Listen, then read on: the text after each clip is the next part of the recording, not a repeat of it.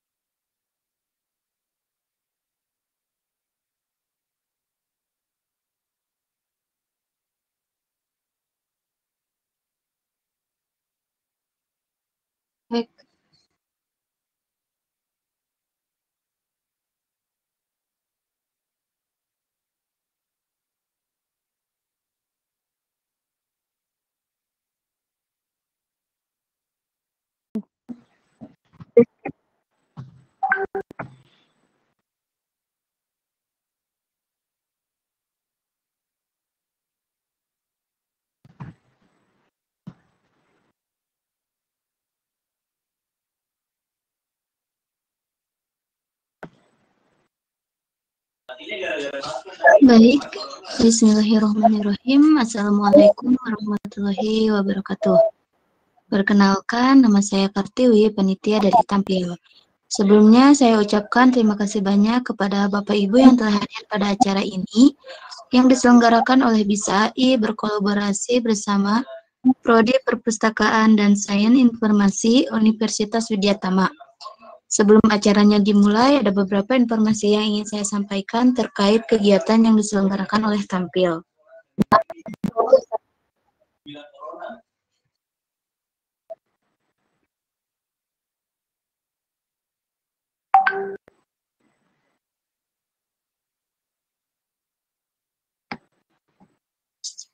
Tampil merupakan startup event community yang mengadakan berbagai webinar melalui platform Tampil yang dapat diakses melalui aplikasi Android, iOS, dan web.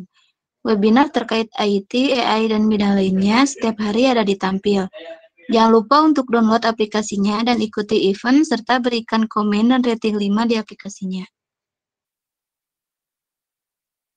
Selain webinar, Bapak Ibu dapat mengikuti kegiatan bisa lainnya seperti bootcamp, course akademi terkait AI dan IT, melalui aplikasi Bisai Academy yang dapat diakses melalui Android dan iOS. Selain itu juga di aplikasi Bisai Academy terdapat fitur diskusi private di mana Bapak Ibu dapat berdiskusi langsung bersama pemateri yang ahli pada bidangnya terkait AI, IoT, dan lainnya. Dan bisa berdiskusi juga mengenai riset maupun penyusunan tugas akhir.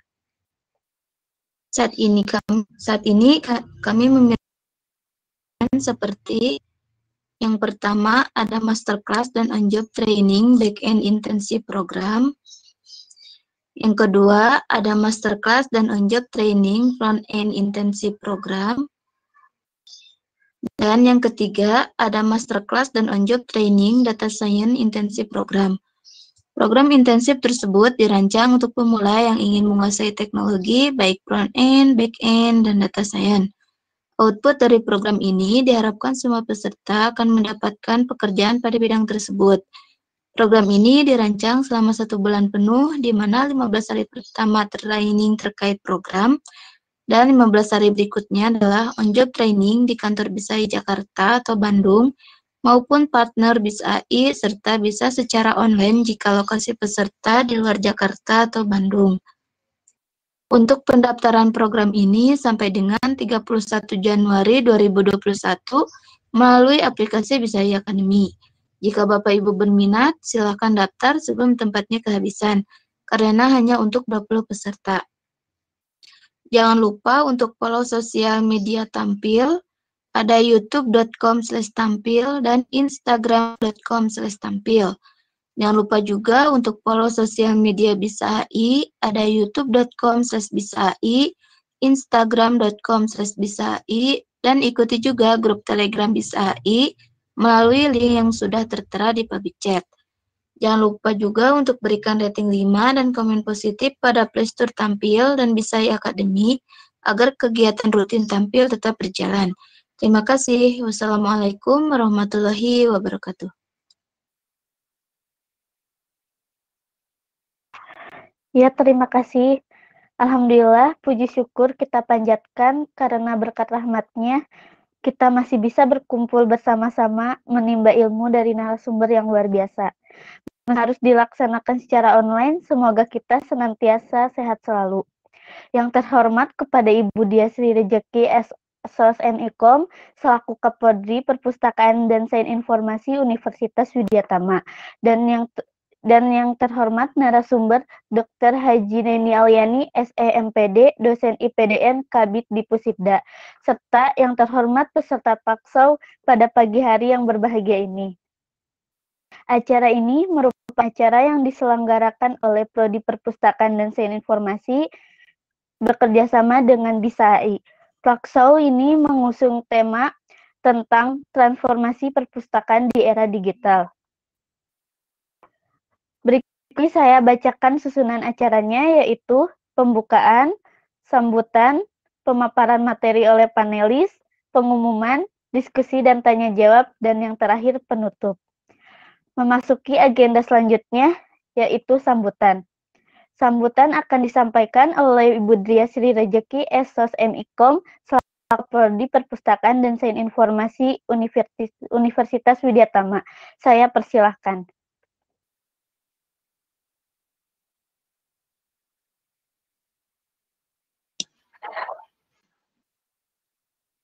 Oke. Okay. Bismillahirrahmanirrahim. Assalamualaikum warahmatullahi wabarakatuh.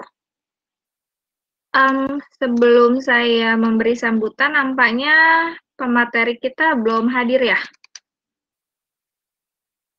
Oke, tim BISAI boleh dikonfirmasi apakah um, Ibu Dr. Hajah Neni sudah hadir atau belum?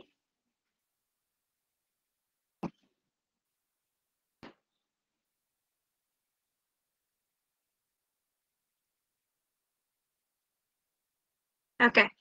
Jadi um, masih menunggu, masih menunggu konfirmasinya. Hmm.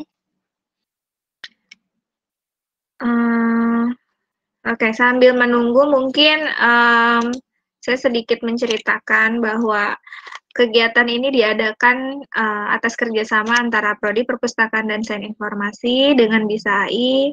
Ini adalah um, webinar yang ketiga atau yang kedua sorry yang kedua kemarin kami sudah mengadakan hmm, talk show mengenai games.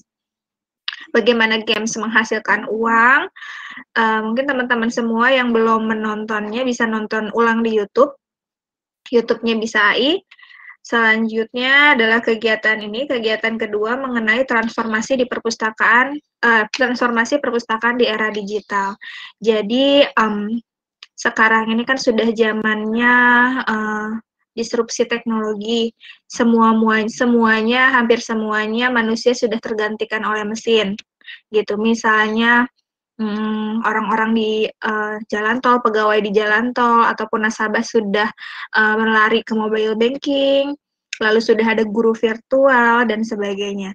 Jadi yang ingin dibahas kali ini mengenai uh, bagaimana kebertahanan perpustakaan di era digital seperti itu. Tapi nampaknya um, belum hadir ya. Oke, okay. kami masih menunggu untuk uh, Ibu Dr. Neni Alyani untuk hadir.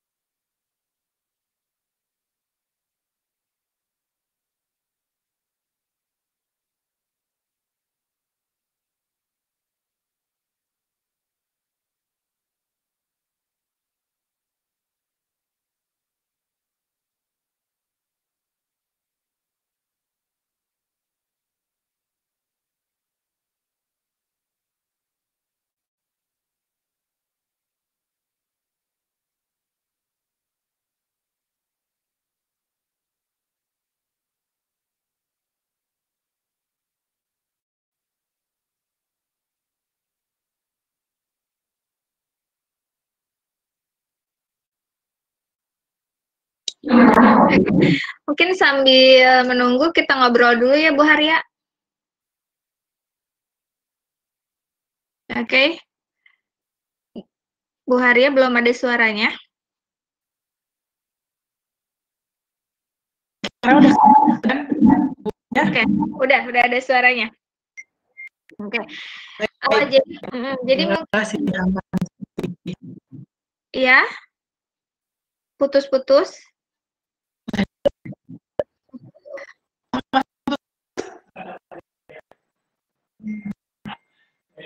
Halo, putus-putus.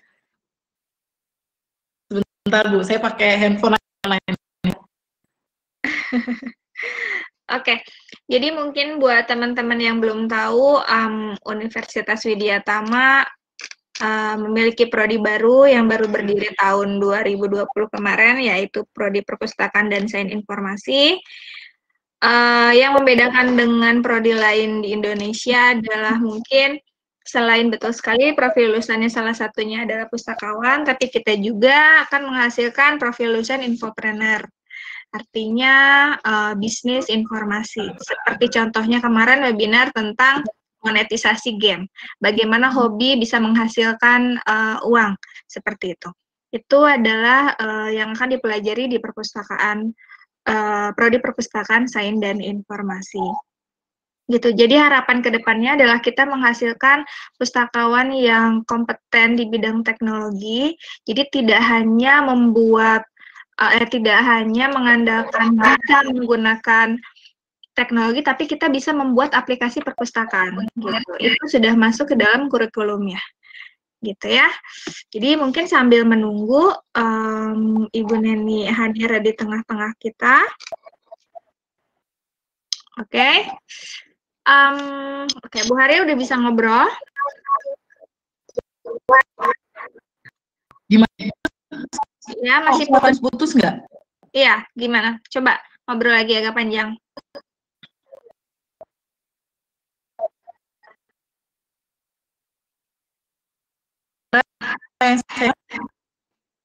Yap, masih putus-putus. Mungkin sinyal dari kampusnya atau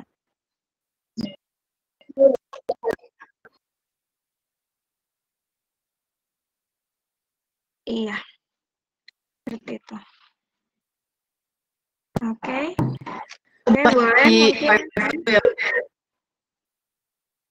Gimana? Oke, kita masih menunggu uh, narasumber kita yaitu Bu Ibu Dr. Haji Neni Alyani SEMPD. Jadi mungkin kita belum bisa memulai kuliah umum ini ya. Jadi buat teman-teman yang sudah join uh, harap ditunggu dulu. Uh, boleh uh, relax dulu ya, boleh yang mau minum minum dulu, yang mau makan makan dulu, atau boleh sambil uh, ini apa sih nyemil gitu ya, makan cemilan sesuatu. Mm -hmm. Oke, okay. Haria sudah ada suaranya.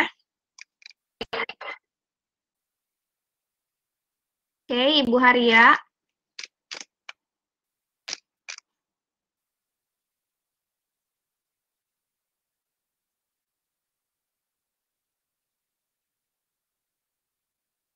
Oke. Okay. Um, hari ini yang sudah join sebanyak 34 orang dan kami masih menunggu narasumber. Oke, tim Bisai bagaimana? Apakah sudah bisa dihubungi Ibu Neninya?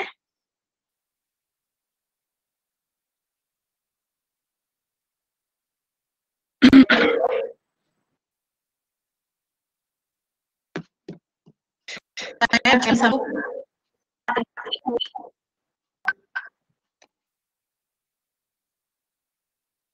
Oke, Ibu Neninya sedang dihubungi oleh tim Bisai. Jadi teman-teman yang sudah hadir boleh uh, menunggu.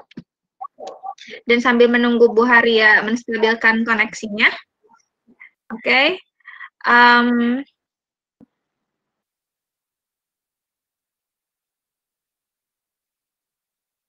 Oke, okay, ya. Saya ada pengumuman sedikit uh, dari Universitas Widyatama khususnya Prodi Perpustakaan dan Sains Informasi.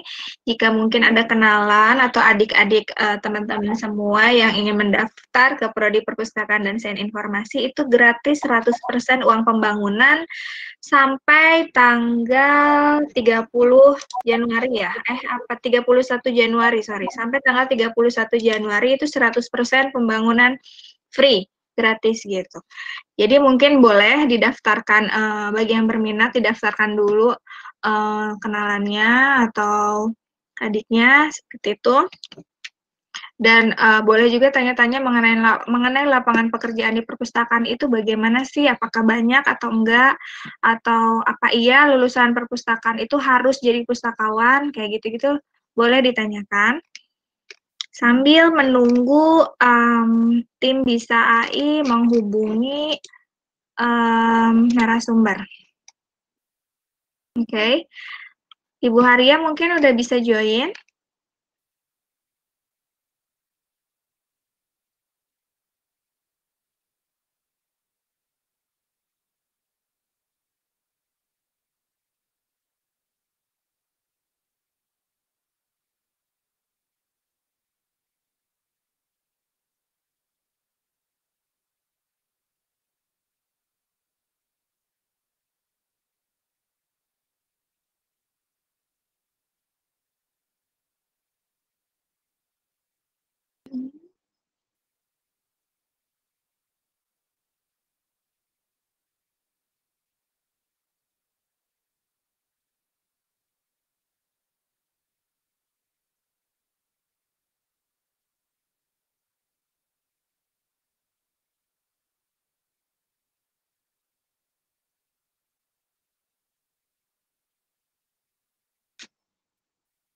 Oke, mungkin uh, saya juga akan mengundang dosen prodi perpustakaan lainnya sambil menunggu Bu Haria mengkoneksi, uh, menstabilkan koneksinya.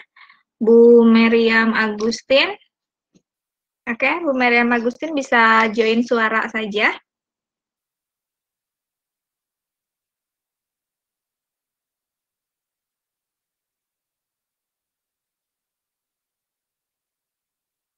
Oke, kita tunggu Bu Mariam Agustin join.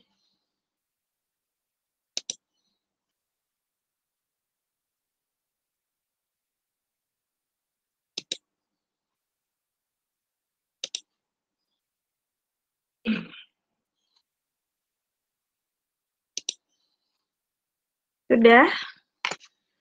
Oke, mungkin dicoba lagi Bu Mariam sudah di-unlock.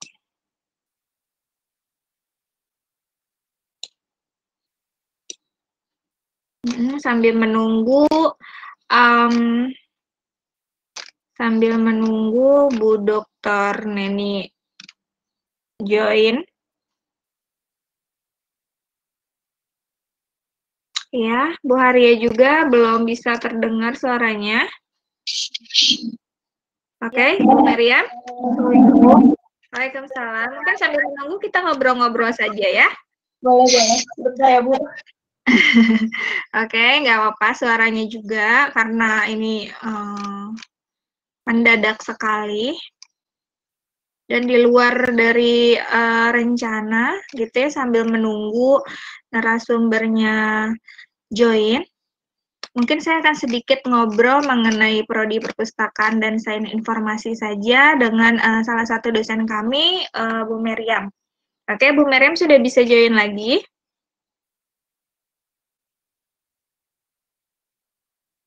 Ya. Ya, Bu Maria.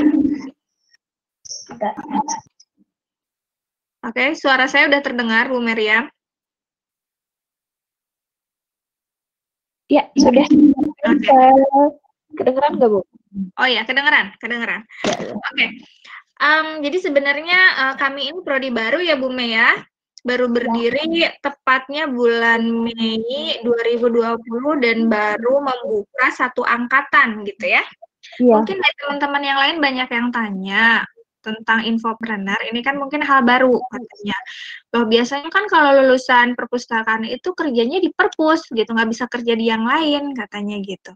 Cuman kan sekarang kita sudah implementasi kampus merdeka ya, kampus merdeka, merdeka belajar itu Jadi uh, Menteri Pendidikan inginnya mahasiswa itu punya skill yang uh, bisa diimplementasikan uh, di luaran sana. Jadi mis jadi lulusannya tuh tidak menjadi sia-sia gitu loh. Jadi lulusannya se, um, meskipun dia tidak bekerja di kantoran gitu, tapi dia bisa bekerja secara mandiri. Nah, inginnya seperti itu. Kalau prodi perpustakaan dan saya informasi gimana Bu Mei?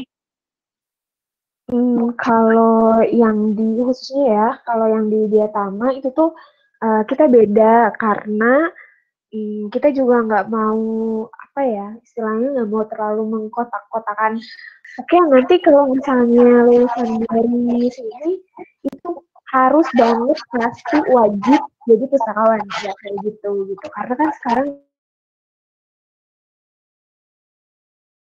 itu tuh udah harus bisa lari bareng sama teknologi. Nah, jadi kami di Widyatama itu menyesuaikan dengan uh, keadaan yang ada saat ini gitu. Jadi kita juga nggak diam aja, kita juga nggak uh, apa ya, nggak berdiri di satu titik aja, tapi kita juga uh, harus bisa menyesuaikan dengan keadaan dan juga teknologi yang ada sekarang. Nah, salah satunya itu kami kembangkan si infopreneur di apa prodi perpustakaan dan sains informasi Jatama ini. Kenapa sih infopreneur? Nah, karena gini, uh, kita juga melihat ke depannya. Uh, saya sama Budia itu udah merancang ini tuh nggak nggak cuma sebulan dua bulan, itu lama banget merancang ini ya Budia. Ya. Infopreneur itu menurut kami adalah peluang yang sangat besar di luar sana di masa yang akan datang. Kenapa? Karena setiap orang itu membutuhkan informasi jelas. Tapi uh, tidak banyak orang yang bisa menghasilkan informasi yang baik. Gitu. Tidak banyak orang. Tidak banyak orang yang menghasilkan informasi yang baik. Jadi uh, apa ya? Di sini kami mengemasnya dengan ilmu dan uh, nanti ke depannya lulusan-lulusan kami itu bisa memberikan jasa penjualan istilahnya ya. Kalau infopreneur kan itu kan ada entrepreneurnya. Entrepreneur itu kan bisnis. Uh, jadi bisa menjual informasi dengan baik sesuai dengan apa yang uh, diminta sama si konsumen seperti itu. Itu untuk infopreneur. Kalau misalnya yang uh, tadi software penjualan software perpustakaan dan lain sebagainya, itu juga bagian dari infopreneur, tapi itu sangat berkaitan erat dengan perpustakaan juga gitu. Jadi uh, sebenarnya kalau misalnya ada yang bilang, ih kok yang mana jadi melenceng banget, kita tuh bukan melenceng tapi memperluas keilmuan gitu. Jadi bukan melenceng ke, kalau melenceng tuh kayak gini, kita namanya perpustakaan dan sains informasi, tapi kita belajar tentang uh, patologi Nah, itu baru namanya melenceng. Patologi kan mainannya farmasi, bukan perpustakaan dan sains informasi gitu. Nah, itu baru melenceng. Nah, jadi kalau misalnya ini tuh kita bukan melenceng, tapi kita memperlebar, memperluas keilmuan kita gitu, supaya kita juga nggak stuck di situ-situ aja. Seperti itu sih, Bu.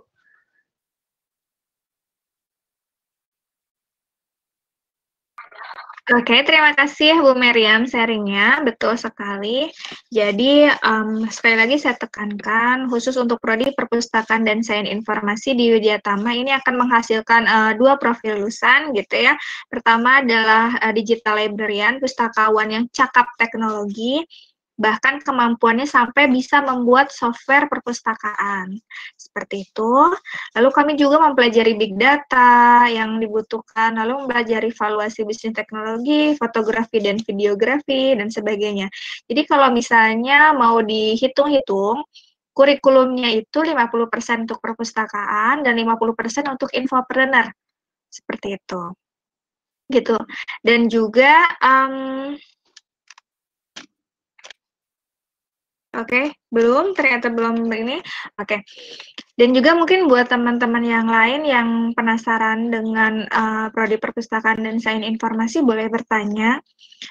Um, kemarin ada yang bertanya kepada saya, terutama mungkin nanti Bu Meriam bisa bantu bahwa kok baru kok mendirikan prodi perpustakaan sih di era digital ini gitu. Bukannya nanti pustakawannya mati ya gitu. Karena digantikan oleh mesin gitu kan. Ada pertanyaan seperti itu. Mungkin itu kekhawatiran bagi para orang tua uh, untuk menyekolahkan anaknya di prodi perpustakaan dan sains informasi karena mereka belum tahu bahwa perpustakaan akan tetap berdiri gitu, akan tetap bertahan. Kenapa? Karena semua orang butuh informasi, semua orang butuh informasi yang berkualitas, informasi yang baik, informasi yang akurat, uh, dan yang mengelola informasi tersebut adalah perpustakaan. Seperti itu. Jadi ke depannya adalah perpustakaan mungkin uh, ketika ketika kita datang ke perpustakaan itu tidak akan dikelilingi oleh buku-buku yang suram, buku-buku yang kaku, tapi sudah menjadi tempat-tempat untuk sharing knowledge jadi misalnya ada tempat untuk bedah film, ada tempat untuk diskusi mengenai uh, jurnal misalnya atau enggak diskusi mengenai isu-isu terkini. Hasil dari diskusinya bisa dijadikan tulisan untuk uh, artikel di kolom opini misalnya seperti itu. Gitu. Jadi perpustakaan itu tidak sekaku yang terlihat jadi ketika kalau kali kalau misalnya teman-teman datang ke perpustakaan itu terlihat hanya ada buku-buku dan ada pegawainya satu dan pegawainya judes pula gitu misalnya. Ternyata perpustakaan tidak sedemikian gitu loh. Gitu. Mungkin iya ada perpustakaan yang seperti itu, tapi seharusnya perpustakaan tidak seperti itu. Artinya apa? Harus ada hmm, relokasi uh, eh, SDM gitu, harus ada peng perubahan pada SDM. Minimal perubahan sikap, perubahan mindset gitu agar tidak seperti itu lagi karena hmm, perpustakaan ini tidak akan mati gitu kenapa karena kebutuhan info kebutuhan masyarakat akan informasi ini masih banyak seperti itu Oke, okay. mungkin sambil menunggu tim bisa AI belum belum juga dapat menghubungi uh, Bu Dr. Neni atau bagaimana? Oke, okay, di sini ada yang ngechat. Um, salam hangat atas nama Muhammad Naufal Muzaffar, mahasiswa UIN Alauddin Makassar, jurusan Teknik Informasi Informatika dan uh, eh Informatika gitu ya. Oke, okay, hai Muhammad Naufal, salam kenal juga dari kami. Oke, okay, kalau ada yang ingin ditanyakan, boleh ya buat teman-teman langsung di chat aja di public chat sambil menunggu um, Bu Dokter Neni join gitu. Tim bisa ini masih uh, menghubungi. Oke, Bu Mary bagaimana? Ya, uh, saya nambahin sedikit yang tadi pernyataan dari Ibu Dia ya. Jadi gini konsepnya perpustakaan itu uh, apa ya kolot banget kan apa sih perpustakaan gitu kan gedung tua bunga bosenin dan lain sebagainya padahal kalau misalnya dilihat uh, kita runtut gitu ya ya, perpustakaan itu ada. Kalau saya baginya itu ada empat bagian.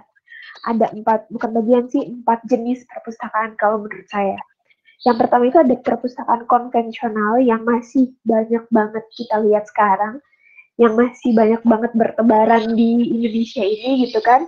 Perpustakaan konvensional yang masih banyak buku-bukunya yang masih uh, apa sih namanya penataannya juga masih manual dan lain sebagainya Nah, itu adalah perpustakaan konvensional.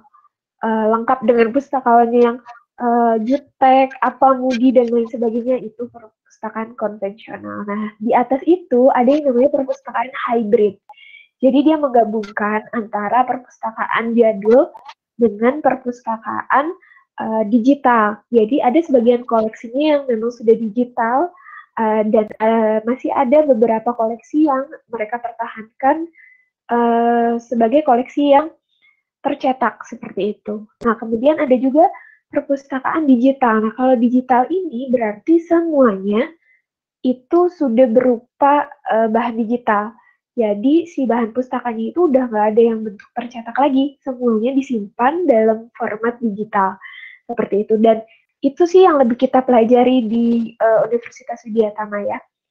Uh, setelah itu ada juga namanya perpustakaan virtual. Nah, bedanya sama perpustakaan yang lainnya, kalau yang konvensional, kemudian yang hybrid, kemudian yang digital, itu gedung perpustakaannya masih ada. Tapi kalau misalnya yang virtual, itu gedungnya pun nggak ada. pustakawannya pun kita nggak tahu siapa, tapi ada koleksinya. Dan kita bisa pinjam, kita bisa akses, kita bisa baca, dan lain sebagainya. Itu namanya perpustakaan virtual. Dan itu juga sudah banyak sih sebetulnya dari mulai 2011 juga udah ada itu perpustakaan virtual, cuma mungkin belum terlalu booming ya. Yang booming itu uh, mereka yang transisi dari konvensional ke digital menamakan uh, perpustakaannya perpustakaan digital hanya dengan uh, modal kita bisa diakses loh gitu di uh, internet dan lain sebagainya. Tapi ketika kita datang ke perpustakaannya masih ada tuh bahan pustakanya nah itu sebetulnya namanya perpustakaan hybrid. Tapi uh, mungkin mereka menamakannya perpustakaan digital supaya lebih kelihatannya lebih keren gitu. Nah sekarang kan jadi udah tahu ya bedanya konvensional digital, hybrid, sama uh, virtual gitu. Nah, sekarang tuh kita ada di uh, era digital yang kita juga bentar lagi bakal harus lari ngejar yang perpustakaan virtual. Jadi uh, dirubah mindsetnya dari sekarang kalau perpustakaan itu bukan tempat yang ngebosenin. Tadi Budia bilang, iya sekarang perpustakaan itu bisa jadi tempat sharing knowledge. Nah, itulah di perpustakaan digital karena kita benar-benar nggak ada koleksinya kita cuma nyediain ruang-ruang seperti itu bisa untuk sharing knowledge bisa untuk apa ya uh, bedah film bedah buku dan lain sebagainya. Ya itu sharing knowledge namanya. Seperti itu ya. Jadi hmm, mohon dipahami aja kalau perpustakaan tuh nggak melulu soal buku gitu sekarang tuh. Itu ya Bu Dia. Ya betul sekali. Oke Bu Haria sudah bisa join? Coba bisa ya. Suaranya sudah sangat jelas sekali, sudah mulus, tidak putus-putus ya. Baik, terima kasih Bu Dia. Harusnya oh Bu Bu Neninya belum join ya Bu ya? Belum, belum join. Jadi um, kita sambil menunggu mungkin kita ngobrol dulu seputar prodi ya. Ya, gitu, baik, teman-teman soalnya ternyata yang nonton juga tidak hanya dari prodi perpustakaan, tadi ada dari prodi teknik informatika. Alauddin Makassar. Alauddin Makassar, iya Halo. seperti itu. Halo Universitas Alauddin Makassar, salam okay. kenal dari kita. Ya, Bu Haria ini juga dosen prodi perpustakaan dan sains informasi. Jadi buat teman-teman sekali lagi kalau ada yang penasaran, emang kerjaannya ngapain aja sih di uh, perpustakaan itu gitu? Terus zaman sekarang emang masih laku misalnya pustakawan. Emang masih ada yang butuh pustakawan zaman sekarang? Oke, boleh bisa nanya-nanya sama kita. Mungkin Bu Arya punya uh, pengalaman mengenai lapangan pekerjaan di uh, prodi perpustakaan dan sains informasi mungkin? Iya, baik. Tadi saya menyambung obrolan dari Bu Mei ya bahwa masih banyak orang yang berpikir bahwa perpustakaan itu adalah sebuah gedung ruangan yang isinya buku.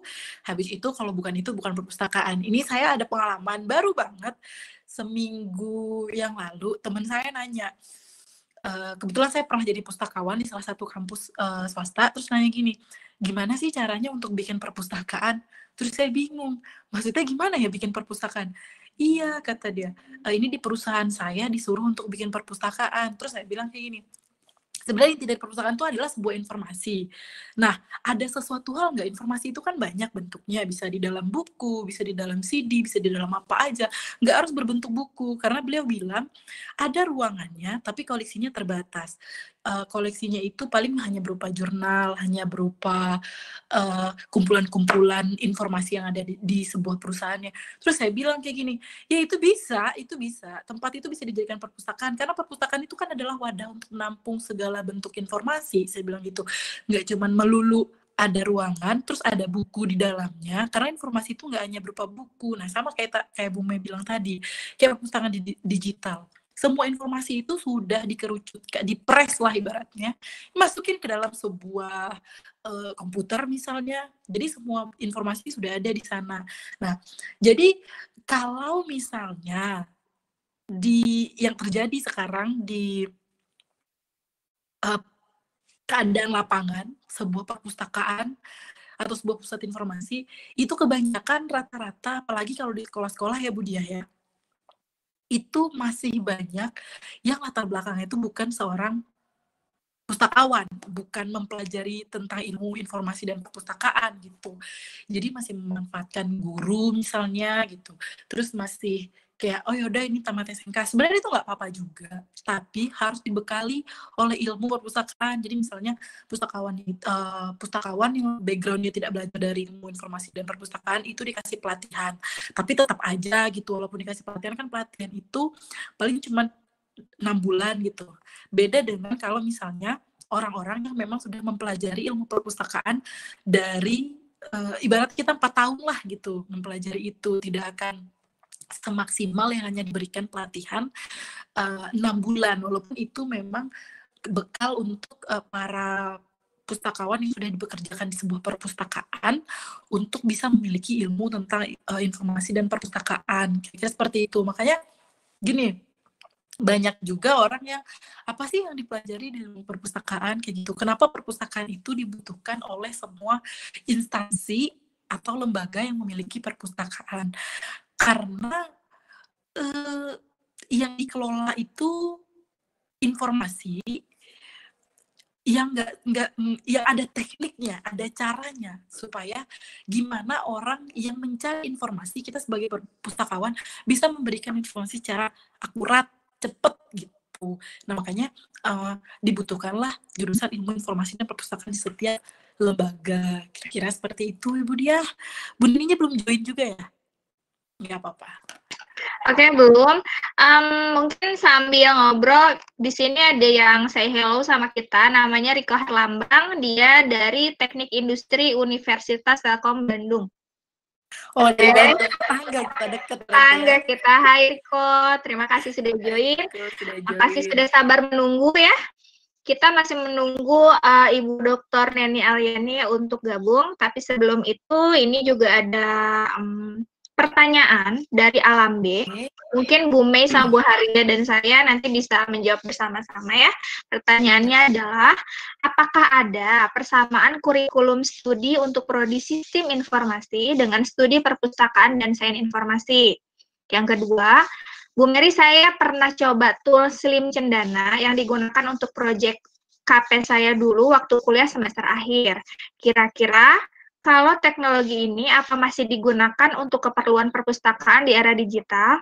Lalu apakah prospek kerja untuk belajar di prodi perpustakaan dan sains informasi sangat menjanjikan untuk dunia industri ataupun untuk keperluan riset dan teknologi? Terima kasih. Mungkin ini ada, ada, ada tiga pertanyaan. Mungkin saya coba jawab dulu ya, nanti Bu Haria sama Bu um, ya, bisa menambahkan ya. ya. Oke, okay. saya ulangi ya yang pertama dulu, apakah ada persamaan kurikulum studi untuk prodi sistem informasi dengan studi perpustakaan dan sains informasi? Jadi gini, um, sepemahaman saya, kalau misalnya prodi sistem informasi, dia membuat um, semacam tek teknologi gitu informasi yang tersistem baik untuk industri ataupun eh, lembaga-lembaga yang membutuhkan. Nah, kalau perpustakaan dan sains informasi, kita fokus mempelajari sains informasi pertama khususnya di perpustakaan itu sendiri sains informasi ini bagaimana cara kita mengelola informasi, bagaimana cara kita mencari informasi yang akurat, terpercaya, yang benar, yang berkualitas seperti itu. Lalu bagaimana cara kita menghimpun informasinya, lalu menyebarluaskannya dan melestarikannya seperti itu. Itu di prodi kami gitu. Namun karena sekarang era digital, jadi uh, otomatis kami pun uh, berdampingan dengan teknologi. Jadi kalau zaman dulu cara kita menghimpun digital mungkin hanya dalam eh, menghimpun sorry menghimpun informasi mungkin hanya dalam bentuk buku dari mulai kita mencari informasi-informasi kita himpun dalam bentuk buku kalau kalau sekarang tidak lagi. Contohnya gini, misalnya saya hmm, di perpustakaan um, farmasi, misalnya saya di perpustakaan farmasi. Otomatis koleksi-koleksinya itu, informasi-informasinya itu yang saya butuhkan harus tentang farmasi. Itu gimana cara saya mendapatkan informasi-informasi tentang farmasi dari mulai proses mengumpulkan info datanya, terus mengolah datanya, melihat kualitas informasinya. Nah, itu dipelajari di perpustakaan dan sains informasi. Gitu. Jadi nanti yang di perpustakaan itu informasi-informasi sudah mengerucut tentang farmasi saja. Gitu. Tidak ada lagi informasi tentang lingkungan, misalnya tidak ada lagi informasi tentang bisnis misalnya karena itu perpustakaan farmasi uh, jadi dikhususkan untuk informasi mengenai farmasi. Misalnya gitu seperti itu. Lalu um, Uh, lalu Slims Cendana yang digunakan untuk proyek KP saya dulu waktu kuliah semester akhir, kira-kira kalau teknologi ini apa masih digunakan untuk keperluan perpustakaan di era digital? Mungkin ada yang masih menggunakan, mungkin juga ada yang sudah beralih ke software yang lainnya. Lagi-lagi itu tergantung dari pustakawan di perpustakaan itu sendiri. Jika Slim itu kira-kira masih membantu mereka dalam uh, mengelola perpustakaan itu boleh digunakan tapi misalnya saya mau bikin software yang terbaru nih gitu yang ada fitur-fitur yang lebih baik gitu, misalnya fitur-fitur yang lebih baik dari cendana itu juga boleh digunakan. Jadi kalau pertanyaannya itu masih boleh digunakan ya boleh, karena balik lagi tergantung dari pustakawan itu sendiri. Lalu apakah prospek kerja untuk belajar di prodi perpustakaan dan saya informasi sangat menjanjikan untuk dunia industri ataupun untuk keperluan riset dan teknologi? Oke, ini pertanyaan yang baik sekali. Pertama, saya kasih bocoran, setiap tahun pustakawan uh, pemerintah mengadakan CPNS untuk pustakawan. Itu dari sisi pemerintah ya, CPNS untuk pustakawan. Bahkan Perpusnas bisa sampai 9, bisa sampai 8 dibutuhkan. Itu hanya Perpusnas saja, belum lagi dari kementerian-kementerian lainnya atau dinas-dinas lainnya. Itu dari sisi CPNS. Lalu dari sisi um, lembaga swasta itu juga banyak sekali, misalnya lembaga swasta sekolah, universitas, ataupun bank-bank, bank atau industri um, apa namanya perusahaan-perusahaan seperti itu. Nah, misalnya di perusahaan pulp and paper gitu ya. Itu namanya bukan perpustakaan, tapi namanya record and data. Tapi yang kerja di sana adalah pustakawan. Kenapa? Karena mereka mengelola informasi itu. Mereka bisa menghimpun informasi itu. Kayak gitu. Jadi kalau ditanya prospeknya gimana? Banyak sekali gitu pekerjaannya. Banyak sekali um, lapangan pekerjaannya. Cuman namanya beda-beda. Kalau kerja di perpustakaan biasa namanya pustakawan. Kalau misalnya kerja di, di perusahaan bagian record and data, biasanya namanya dokumentalis kayak gitu. Tapi mereka belajar dari prodi kami, prodi perpustakaan dan sains informasi. Mungkin itu dulu ada yang ditambahin buat Bu Haria dan Bu Mei. Baik, uh, kalau saya paling cuma ngasih gambaran tentang uh, slims yang cendana uh, itu tuh masih dipakai atau enggak. Jadi uh, sebenarnya gini, di Indonesia itu automasi namanya ya. Automasi perpustakaan terbesar itu ada dua, Inlis sama Slim. Inlis itu punya Perpusnas, Slims itu punya Kemendikbud. Nah, rata-rata sekolah yang ada di Indonesia itu dikasih hmm, software yang kita bilangnya bagi orang pustakaan itu otomasi ke setiap sekolah. Jadi rata-rata sekolah di Indonesia itu kebanyakan makainya uh, Slims. Nah, Slims itu dia hmm, ada perbaruan-perbaruan sistem gitu loh, Pak. Jadi ada namanya dulu teh di ada nama-nama baru gitu. Nah, ada namanya Cendana, ada namanya. Nah, kalau yang sekarang terbaru itu namanya Slim 9 Bulian, Slim 9 Bulian. Nah, uh, masih ada yang make dari slims yang awal sampai slims yang akhir. Tergantung mereka kebutuhan uh, institusinya seperti apa. Karena hmm, perbaharuan dari sistem otomasi itu hanya untuk mengupdate misalnya uh, untuk lebih mudah penggunaan aplikasinya untuk lebih praktis. Nah paling seperti itu perbedaannya. Jadi masih ada yang menggunakan otomasi tersebut. Tapi di jurusan kita di ilmu informasi dan perpustakaan um, menyambung dari pertanyaan yang pertama ada nggak sih um, mata kuliahnya yang berhubungan dengan sistem informasi kita mencoba untuk uh, membuat mata kuliah yang bagaimana caranya lulusan pustakawan dari uh, Universitas Widyatama ini tidak hanya menguasai teori penggunaan otomasi tersebut, tapi punya bekal ilmu dasar bagaimana cara membuat sebuah otomasi gitu. Jadi biar uh, perpustakaan yang ada di Indonesia itu tidak terpaku hanya menggunakan dua otomasi. Kira-kira seperti itu. Baik, terima kasih. Jawaban dari saya itu aja. Mungkin ada tambahan dari Ibu Mei. Ya, tambahan sedikit aja ya. Sebelumnya saya mohon maaf eh, nggak uh, bisa nampilin video karena sedang dalam kondisi yang sangat tidak baik. Jadi saya iya. aja ya, mohon maaf ya. Baik, Ibu. Uh, jawab pertanyaan yang uh, apa masih bisa digunakan si Slims ini di era, era digital ya, di perpustakaan di era digital. Uh, gini, setahu saya si Slims itu dia dirancang uh, menggunakan standar pengelolaan koleksi uh, perpustakaan gitu. Jadi memang itu untuk memudahkan pengelolaan perpustakaan dengan menggunakan bantuan teknologi. Jadi kalau misalnya ditanya, bisa nggak sih di perpustakaan daerah digital, justru itu sangat bisa dan sangat membantu sekali gitu. Nah, uh, mungkin pilihannya adalah apakah memang uh, mereka si perpustakaan itu masih mau menggunakan Slims atau menggunakan software lain kayak gitu kayak yang tadi Budia sudah jelaskan seperti itu. Jadi kalau misalnya ditanya masih bisa nggak sih? Bisa, jelas bisa gitu. Karena memang itu dia dibuatnya standar uh, perpustakaan seperti itu gitu. Itu aja sih. Nah terus mungkin jawab sedikit ya yang uh, Muhammad Naufal mengapa masyarakat di seluruh Indonesia wajib mempelajari tentang transformasi perpustakaan era digital. Saya jawab yang itunya aja ya. Nah, jadi uh, gini, jelas wajib kenapa sih? Karena gimana ya, untuk merubah sebuah paradigma itu nggak gampang. Untuk membuat orang berpikir kalau sekarang perpustakaan itu nggak melulu tentang buku itu nggak gampang. Itu susah gitu. Jadi uh, gimana caranya kami-kami ini di sini di Widya Tama itu uh, ayo bareng-bareng gitu kita buka mata kalau perpustakaan itu nggak cuma sekedar nggak cuma sekedar uh, buku nggak cuma sekedar ruangan yang penuh koleksi seperti itu tapi uh, kita rubahnya adalah perpustakaan itu. Kalaupun misalnya ada ruangannya kalaupun misalnya ada gedungnya isinya itu informasi. Gini deh sekarang.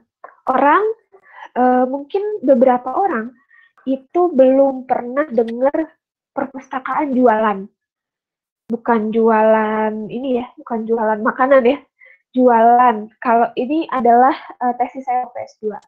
Jadi saya ngangkatnya adalah fee information services atau pelayanan informasi berbayar. Adanya di mana? Di perpustakaan. Loh, bukan perpustakaan itu lembaga biasa ya?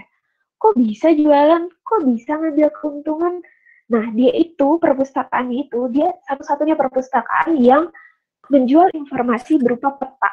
Bisa cari di mana pun, nggak ada perpustakaan lain selain perpustakaan UPN Veteran Yogyakarta yang jualan peta. Gitu. Jadi di situ saya pengen ngerubah paradigma masyarakat bahwa oh iya ya perpustakaan juga bisa kok jualan informasi gitu. Bisa kok nggak cuma men mengembalikan informasi aja, tapi dia juga bisa ngejual. Lah, nanti untungnya buat apa? Nanti uh, kalau kayak gitu, perpustakaan bukan lembaga jasa dong. Berarti perpustakaan adalah lembaga profit. Oh enggak, karena nanti keuntungannya itu bukan dibagiin ke pustakawannya, bukan dibagikan ke uh, anggota perpustakaannya, tapi itu uh, dijadikan keuntungan untuk perpustakaan secara keseluruhan gitu. Jadi tetap standarnya, basicnya balik lagi ke lembaga jasa seperti itu. Itu sih. Jadi ya masyarakat memang harus tahu sih transformasi perpustakaan itu seperti apa. Nggak cuma untuk tempat nyimpan buku, tapi kita juga sekarang udah maju banget, udah bisa jualan informasi di perpustakaan. Itu 2010. Saya meneliti 2010 sampai 2011 gitu. Jadi udah lama banget sebetulnya tapi malah orang-orang mungkin masih belum terbuka karena ya itu. Makanya kita harus tahu transformasi perpustakaan itu seperti apa. Gitu ya Bu Dia Bu Haria. Baik terima kasih Bu Mei. Oke, okay, terima kasih. Uh, ada lagi pertanyaan, pertanyaan yang belum dijawab untuk Muhammad Naufal Muzaffar yang ini ya, hmm, apakah yang mana sih oh ini? Apakah mahasiswa dan mahasiswi prodi perpustakaan dan sains informasi ini mampu bisa memahami enggak mengenai AI dan IoT? Oke, okay? AI artificial intelligence ini um, dan Internet of Things gitu ya, itu saling berhubungan. Jadi kalau misalnya Internet of Things ini menjadi tempat yang mengumpulkan informasi, sementara AI-nya berperan sebagai mesin yang menganalisa dan memutuskan uh, sesuatu yang berhubungan dengan informasi tersebut. Lantas bedanya dengan perpustakaan apa gitu mungkin ya pertanyaan dari Muhammad Naufal. Jadi gini ya, kasarnya AI dan IoT ini seperti Google. Kalau kita klik uh, mie instan, muncul semua mie instan dari nomor satu sampai nomor sekian ribu itu yang berkaitan dengan kata-kata mie instan muncul semua nggak ada saring, nggak ada filter, muncul semua. Mau itu dari blog, mau itu dari koran, mau itu dari jurnal, ataupun dari kata-kata komentar di Facebook, itu muncul semua. Kalau di perpustakaan tidak muncul semua. Kalau misalnya Anda mau cari mie instan, mau nyari yang mananya? Pertama mie instan, mau nyari dampaknya muncullah dampak mie instan. Lalu dilihat sumber-sumbernya itu sudah valid. Kenapa? Karena di perpustakaan ini kita hanya mengumpulkan informasi yang berkualitas saja, informasi yang dapat dipercaya saja. Itu ada ciri-cirinya. Pertama, kita tidak boleh mengambil dari blog atau opini seseorang karena itu tidak valid. Opini, blog ataupun komentar itu sama sekali tidak valid. Yang valid itu seperti apa? Yang ada reviewnya, yang dinilai oleh ahlinya, contohnya dalam jurnal. Jurnal yang terbit itu tidak semata-mata kita mengetik dari A sampai Z artikel lalu terbit tidak, tapi ada reviewer yang ahlinya, ada yang mengkritisinya. Ketika sudah dikritisi oleh para ahlinya, terbit baru itu bisa dipercaya. Yang kedua adalah informasi yang dilindungi oleh badan hukum. Contohnya misalnya koran, Kompas. Kita boleh, kita bisa mempercayai Kompas. Kenapa? Karena Kompas ini lembaga berbadan hukum. Misalnya ibu kadang berita juga menyebarkan hoax loh, kita kitanya aja nggak tahu. Oke, mungkin itu salah beritanya, tapi balik lagi ke kita bahwa balik lagi ke eh, ciri-ciri uh, informasi yang valid adalah informasi itu berbadan hukum. Jadi kalaupun misalnya ada koran-koran tersebut menyebarkan hoax, yang harusnya dituntut adalah koran tersebut, bukan informasinya dan bukan perpustakaannya itu karena tugas perpustakaan ini adalah hanya mengumpulkan informasi-informasi yang memiliki ciri-ciri yang tadi dapat dipertanggungjawabkan dinaungi oleh lembaga hukum. Jadi bukan sekedar opini. Mungkin itu yang membedakan antara prodi perpustakaan dengan AI atau IoT. Jadi kalau AI atau IoT ini mungkin hanya mesinnya saja, wadahnya saja, tapi kita membutuhkan ilmu untuk memilah-milah, memfilterisasi mana informasi yang valid, mana yang enggak, mana informasi yang bisa digunakan pengguna umur 17 tahun dengan pengguna umur uh, 70 tahun, seperti itu. Jadi itu dikotak-kotakan oleh uh, pustakawan, gitu ya. Lalu berikan contoh problem dan solusi yang lain mengenai transformasi perpustakaan di era digital Lalu bagaimana penerapan dan pemahaman konsep sistem alur kerja dari transformasi perpustakaan di era digital? Oke, ini saya nyambung sama pertanyaannya Riko ya tentang um, ilmu apakah yang spesifik dipelajari di, di, dipelajari di jurusan perpustakaan jika dikaitkan dengan sistem perpustakaan saat ini yang sudah bergeser ke arah digitalisasi dan virtual. Bayangan saya secara awam ketika beralih ke arah digital ataupun virtual, kemudian yang lebih dominan adalah ilmu informasi dan database yang cenderung wilayahnya teknik informasi. Oke, betul sekali.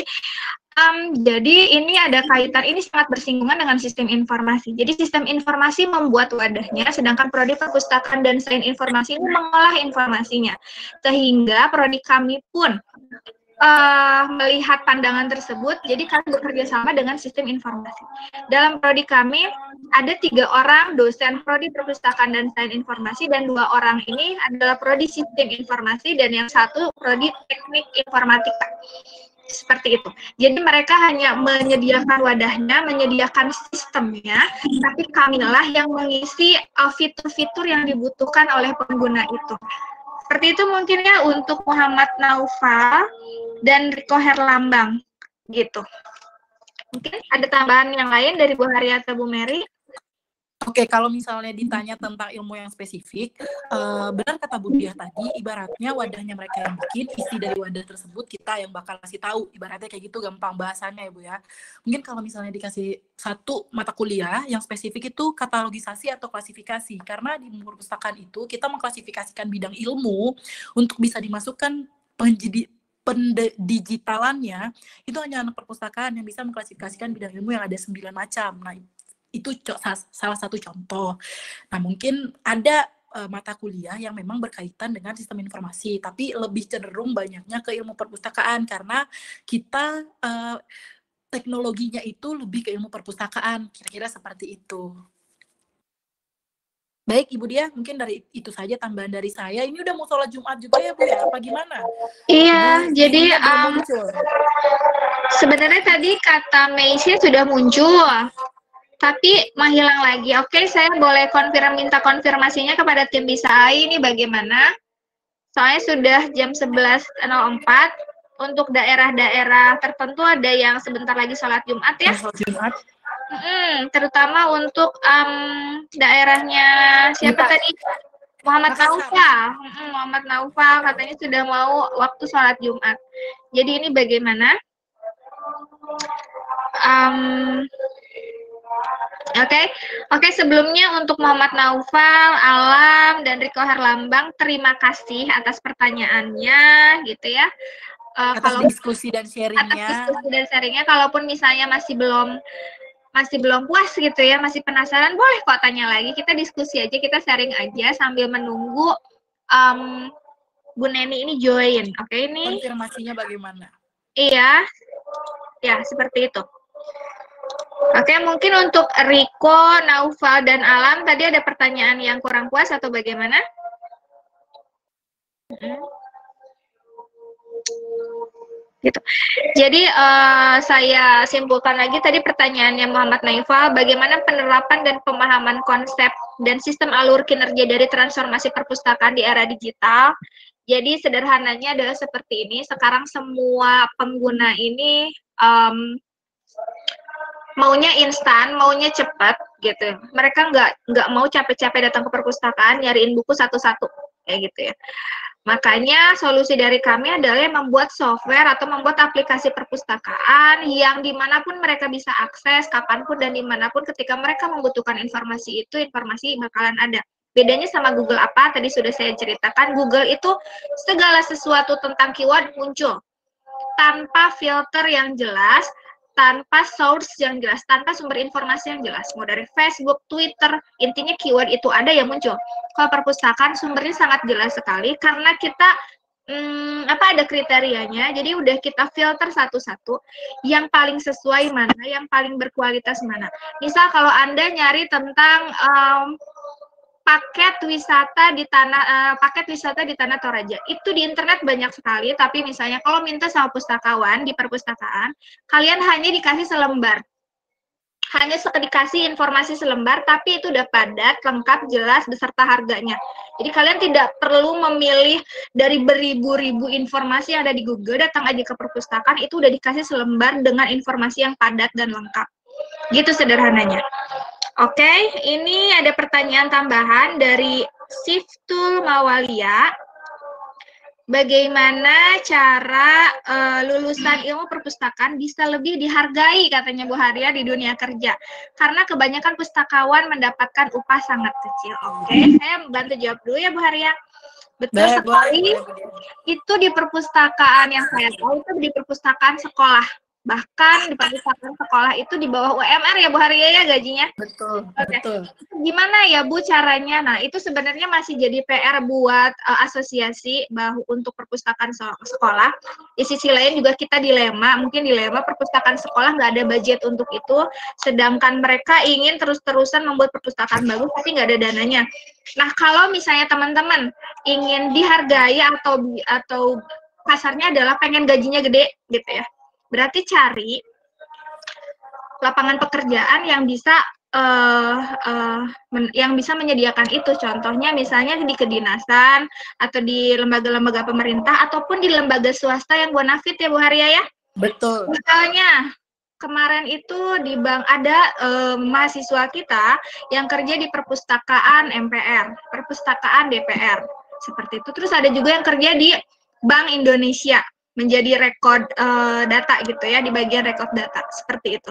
Jadi balik lagi prodi apa pun itu kalau misalnya nyari tempat kerjanya yang biasa-biasa ya gajinya pasti kecil. Tapi kalau mau nyari tempat yang luar biasa gajinya pasti gede.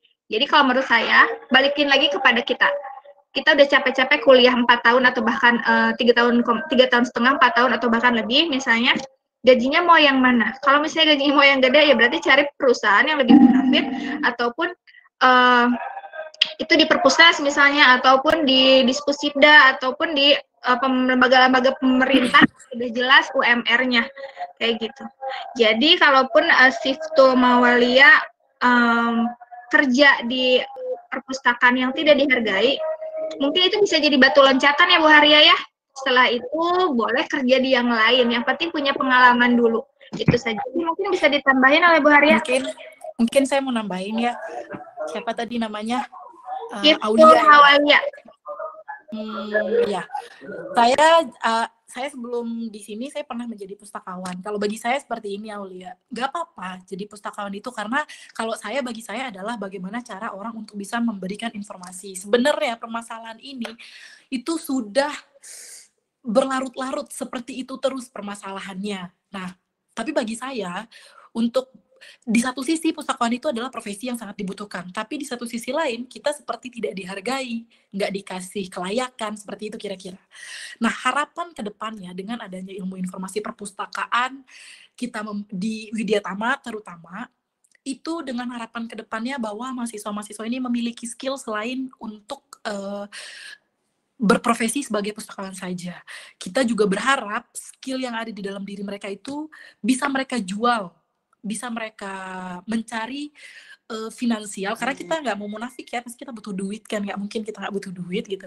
Nah itu makanya dari jurusan perpustakaan itu pengen lulusannya nanti bisa menjadi infopreneur. Jadi bagaimana caranya menjual sebuah informasi apa pun itu untuk bisa menjadi benefit tambahan bagi diri sendiri seperti itu kira-kira. Dan kewajiban utama sebagai pustakawan itu juga tetap ada skillnya gitu tapi di satu di satu sisi lain juga memiliki kemampuan untuk bisa menjadi penjual informasi dan itu keuntungannya buat diri dia sendiri. Nah harapan ke depannya seperti itu. Nah agar menjawab solusi-solusi uh, permasalahan-permasalahan yang terjadi pada saat ini di Indonesia ketika pustakawan itu kurang dihargai kira-kira seperti itu dari saya. Terima kasih Budia ada tambahan lagi kira-kira? Tapi waktunya jam 11 Iya, waktunya sudah jam segini. Dan saya juga dapat info dari Bisai bagaimana kalau diundur jam 1 katanya gitu karena ada kesalahan teknis. Mungkin saya bisa minta uh, komennya buat teman-teman yang sudah join yang sudah sabar menunggu dari jam 10. Sekali lagi kami mohon maaf. Apakah bisa um, acara ini kami undur jam 1 setelah Jumatan dan setelah makan siang seperti itu? Bagaimana teman-teman? Bagaimana kira-kira? Hmm. Soalnya kami juga um, tidak tahu hal ini bakal terjadi ya Bu Haria ya. Kita ya, juga betul. sudah standby bahkan di jam setengah sepuluh ternyata ada kesalahan teknis dan ya dan kami juga masih membutuhkan uh, banyak uh, informasi mengenai transformasi di perpustakaan di era digital yang akan disampaikan oleh Bu Neni ini dan kami rasa sangat penting ya Bu Haria ya kalau sampai tidak dilangsungkan gitu. Betul, Jadi lebih baik kami undur saja sampai jam satu. Oke, ini sudah ada komen katanya iya Bu boleh diundur saja jam satu gitu ya. Baik, mungkin ya buat teman-teman sekalian nanti kita ketemu lagi di jam satu. Sekarang kita mau melakukan udah masuk waktu sholat Jumat juga. Jadi mungkin untuk MC ditutup aja caranya gitu kali Bu ya. Ya baik. Kita kembalikan ke MC ya. Ya, bisa.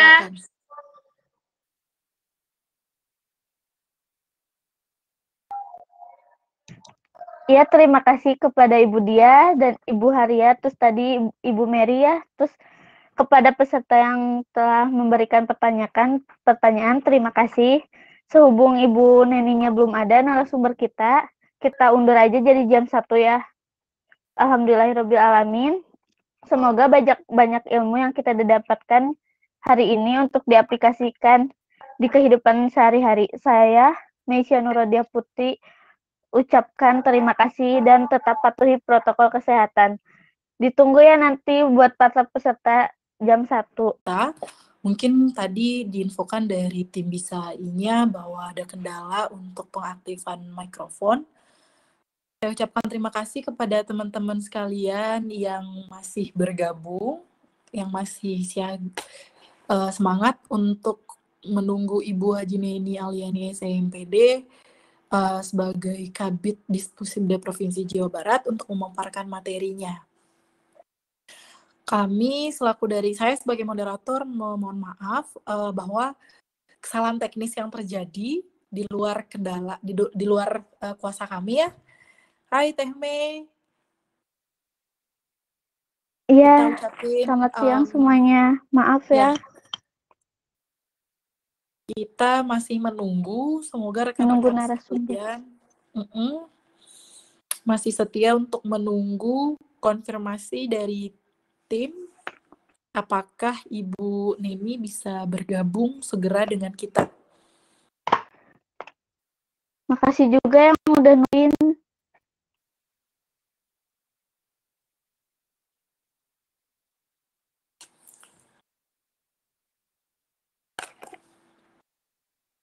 Kita konfirmasi terlebih dahulu ya untuk tim apakah sudah dapat konfirmasi dari ibu ini?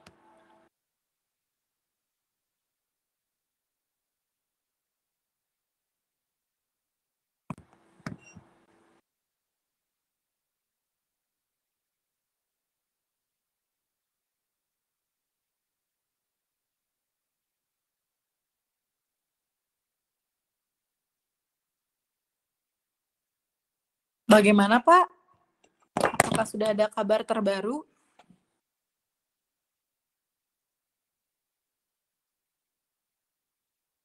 Ya, sepertinya masih belum ya teman-teman ya semuanya. Mungkin Ibu Neni dalam kurang baik jaringannya atau ada kesalahan teknis. Kita masih menunggu ini buat peserta yang hadir boleh di-share dari mana aja. Apa masih ada ya tadi yang dari Makassar? Mungkin bisa jadi ajang silaturahmi buat rekan-rekan semuanya yang ada di sini biar bisa saling kenal. Mungkin bisa di chat, di room untuk dikasih tahu dari wilayah-wilayah mana saja yang sudah hadir ini ada sekitar 25 orang.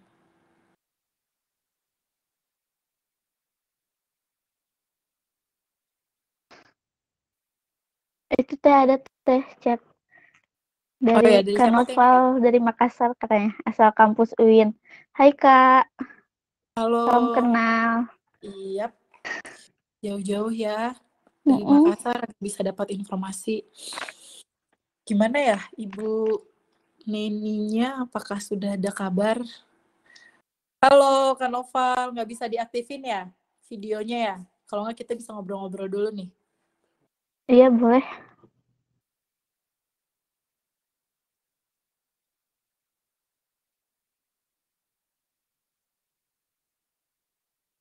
Ada lagi yang lain?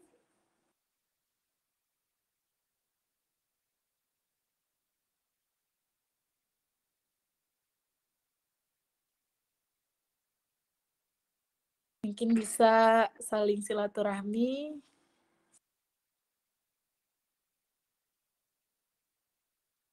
Sepertinya kita belum dapat informasi terbaru dari tim apakah sudah apakah Bu Deni sudah bisa bergabung. Oke. Ternyata masih ada kendala ya dari device-nya Bu Neni. Oke, baik. Kita masih menunggu konfirmasi kehadiran dari Bu Neni.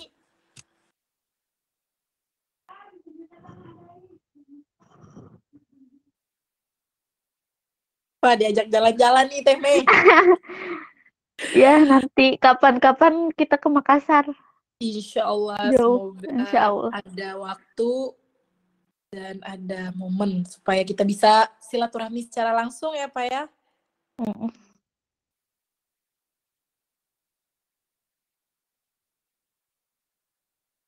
Emang bapaknya di mana? Kenapa bareng gitu? Apa bareng dari Bandung juga? Apalagi mudik karena WFH. Aduh ngobrolnya jadi lewat chat gini, eh. Benar. Oh Oh ya, uh, dari tim dari Pariski dari tim Bisai sedang mengusahakan agar Ibu Neni bisa segera join dengan kita. Saya harap uh, teman-teman masih sabar menanti dan menunggu karena ini di luar kekuasaan kita ya. Pengennya yeah. uh, sesuai dengan jadwal ya Teh Mea. Hanya saja mungkin hmm, masih terkendala Mungkin jaringan juga teh. Iya betul. Yang namanya teknologi lah ya. Kita nggak tahu. Ya semoga aja bisa segera bergabung. Ibu Neni.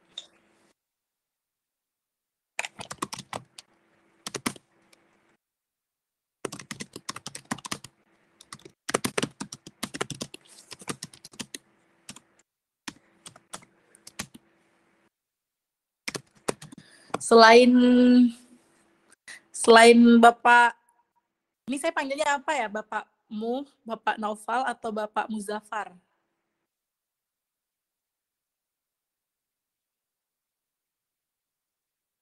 Iya betul, kalau jaringannya nggak bagus, emang agak susah ya buat join. Selain dari selain dari Winalaudin Makassar, dari mana lagi ya? Yang lain nggak?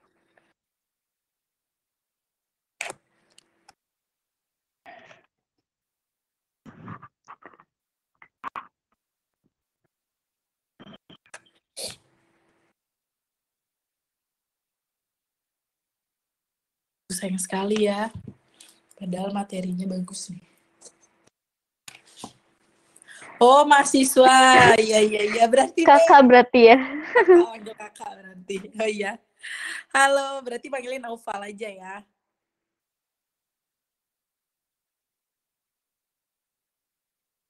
Di kalau di Makassar juga ada kan jurusan perpustakaan, perpustakaan. dan informasinya.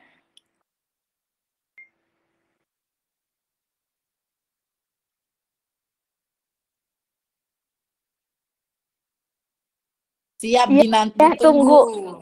Ditunggu di Universitas Widyatama sama kita ya, ya Teh ya. Teh Teh Mei nanti yang bakal ini.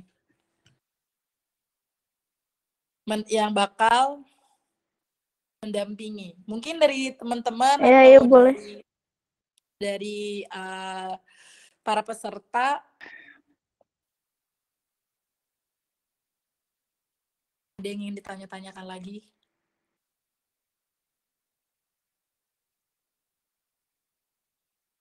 Sambil ngobrol-ngobrol.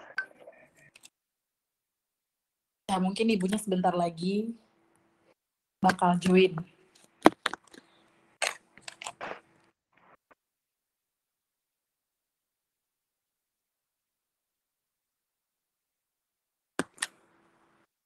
Kita masih menunggu.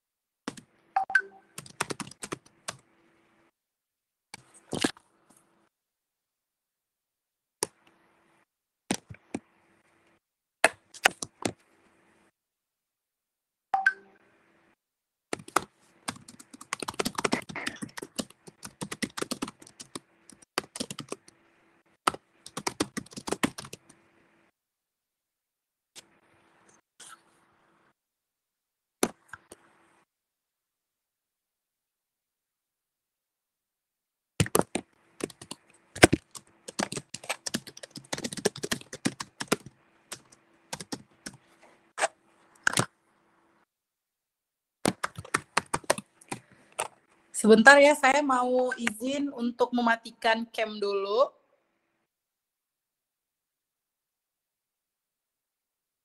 Mungkin bisa Temi sapa-sapa teman-teman yang lain ya.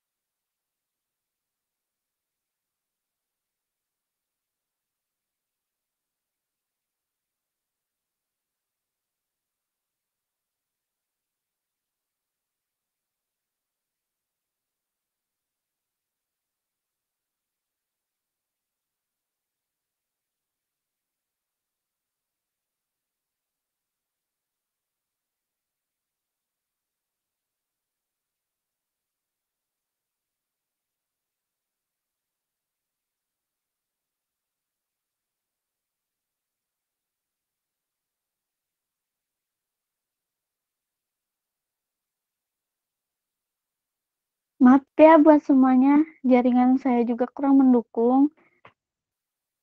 Sambil nunggu narasumbernya masuk ke talkshow, ada yang mau ditanyakan? Sambil nunggu juga Teh Haria, dekat uh, izin sebentar dulu.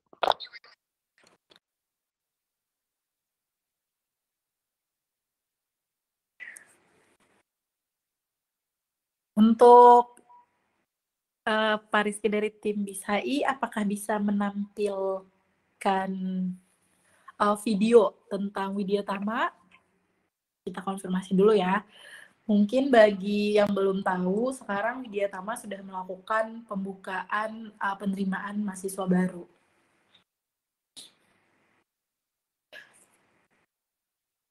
Untuk jurusan uh, prodi sains informasi perpustakaan sendiri juga sudah melakukan pembukaan penerimaan mahasiswa baru.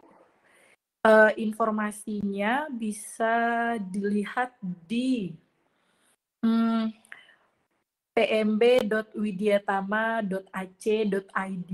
Nah, di sana itu sudah lengkap informasinya mengenai uh, prodi apa aja yang ada, lalu mekanisme pendaftarannya seperti apa, lalu biaya pendidikan, panduan pendaftaran, uh, informasi beasiswa, metode seleksi, itu sudah uh, lengkap informasinya di sana. Dan semua itu tinggal klik, gampang sekali. Jadi uh, sekedar informasi buat Bapak Ibu sekalian, kali aja ada sanak saudaranya yang ingin um, mendaftarkan kuliah di Universitas Widyatama, maka bisa dicek uh, di pmb.widyatama.ac.id.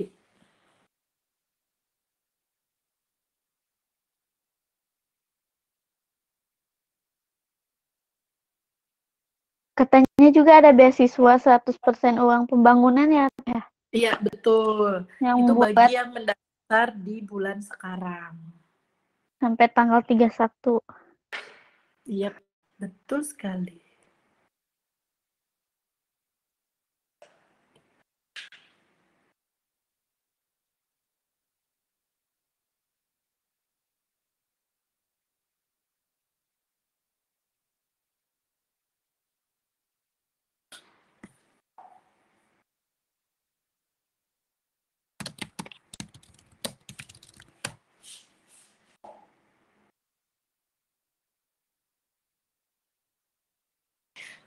Uh, informasi juga buat rekan-rekan sekalian selain uh, jurusan perpustakaan dan sains informasi yang berada di Fakultas Teknik, prodi-prodi lain yang juga ada di Fakultas Teknik itu ada teknik industri, teknik informatika, sistem informasi, teknik sipil, teknik mesin S1, teknik mesin S, uh, D3, teknik elektro S1 dan uh, termasuk jurusan perpustakaan dan sains informasi. Jadi informasi buat teman-teman semuanya bahwa uh, prodi perpustakaan dan sains informasi itu masuk uh, kepada Fakultas Teknik. Terus selain itu juga ada Fakultas Ekonomi dan Bisnis yang terdiri dari prodi manajemen S1 dan D3, akuntansi S1 dan D3. Nah, jadi ada tiga program studi baru yang ada di Universitas Widyatama. Yang pertama itu adalah perpustakaan dan sains informasi yang dibuka tahun kemarin. Lalu perdagangan internasional sama prodi TV dan film. Uh, untuk fakultas desain visual itu ada desain grafis untuk D4, multimedia untuk D3, lalu produksi film dan TV untuk D4. Nah, itu adalah jurusan baru yang ada di prodi eh yang ada uh, yang baru buka juga ber, berbarengan dengan um, perpustakaan dan sains informasi. Oke. Okay. Ini ada informasi terbaru dari tim Bisai. Jadi gimana? Oke. Okay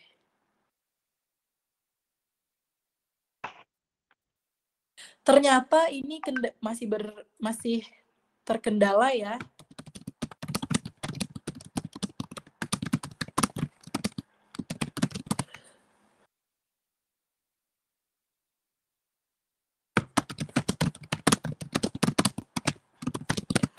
kita minta maaf yang sebesar-besarnya bahwa ternyata Ibu Neni Aliani tidak bisa join untuk sesi kali ini dikarenakan masih terkendala oleh uh, teknis jaringan.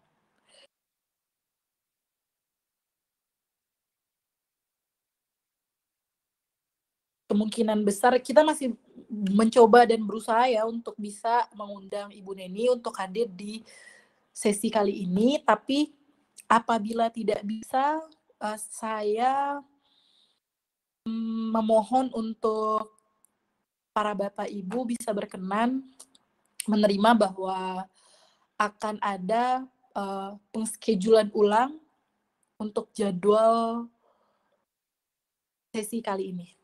Ini masih saya konfirmasi terlebih dahulu.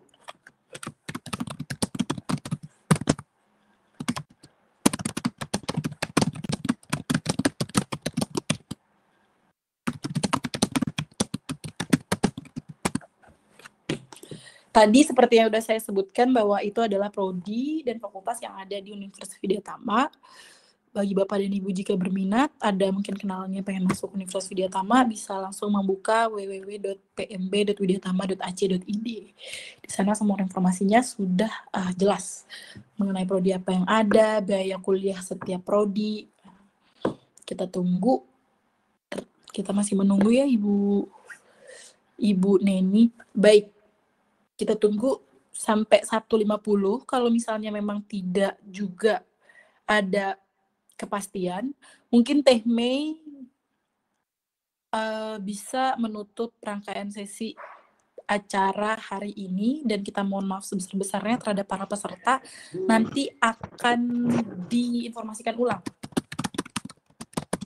Itu Bu Mei unlock. Apakah sudah bisa? Ibu Meriam katanya oh, iya. minta di unlock. Iya, bentar saya konfirmasi kepada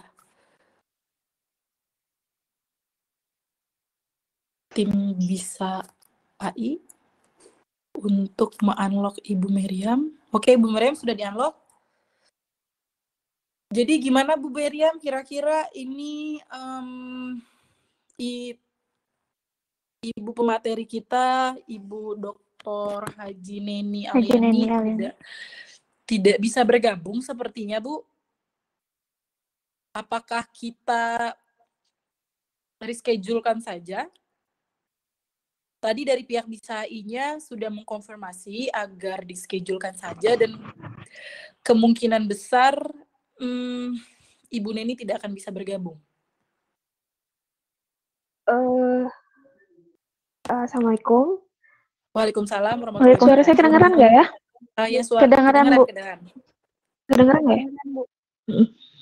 Uh, mau memastikan aja kalau misalnya di reschedule takutnya beliaunya terlalu sibuk jadi nggak bisa lagi uh, atau gimana? Mau diambil alih aja? Hmm, tadi saya dapat informasi dari pihak BISAI-nya bahwa beliau akan mendatangi narasumbernya untuk menyelesaikan kendala tersebut dan ingin mereschedule. Itu dari pihak bisa I Pak Rizky yang mengkonfirmasi hal tersebut. Kalau diambil alih, nanti takutnya tidak sesuai teh uh, karena mungkin teman-teman di sini memang menunggu Ibu Neni kan untuk mengisi acara atau baiknya bagaimana? Kalau misalnya diambil alih, ya udah nggak apa-apa saya ambil alih aja. Ntar saya uh, sampaikan materinya juga tentang transformasi perpustakaan era digital gitu. Uh, boleh? Apa? Kasian sih, uh, maksudnya iya, teman -teman mereka juga udah nunggu. Mereka udah nunggu, mereka udah super excited ikutin acara ini. Tapi ternyata dari jam oh. 10 kita tunggu nggak. Nggak ada uh, ya. Mm. ini Hmm, Bu Mei, ini ada masukan dari teman-teman dari hmm. para peserta. Katanya ambil alih. Katanya aja, minta diambil, iya. Iya, tapi mau maaf dulu sebelumnya saya nggak bisa tampilin video saya, saya sendiri maksudnya, karena uh, sekarang saya nggak sedang dalam keadaan yang sangat tidak baik gitu, jadi hmm, mohon maaf, nggak apa-apa ya kalau cuma suara aja.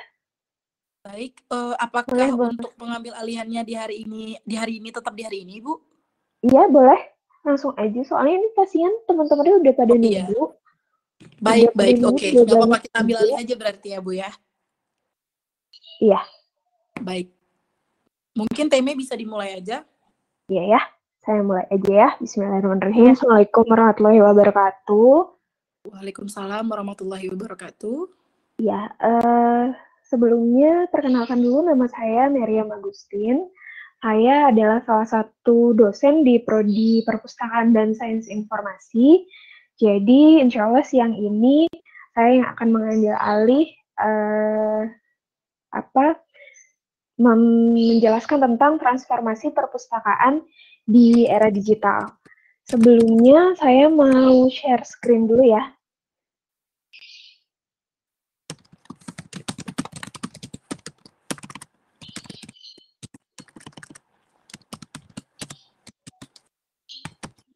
Apply nggak ya?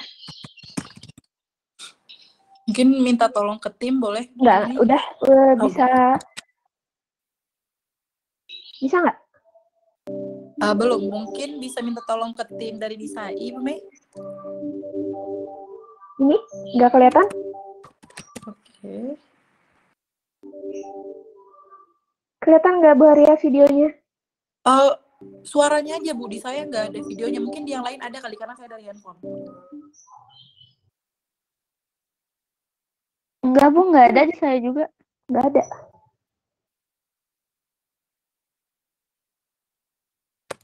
Kenapa ya? Oh oke oke. Bentar bentar bentar. Nah sekarang udah Oke. Udah. udah ada. Udah. Udah ya.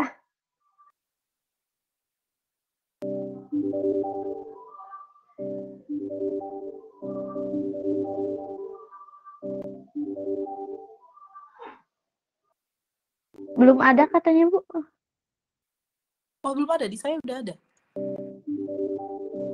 Nah, udah, udah.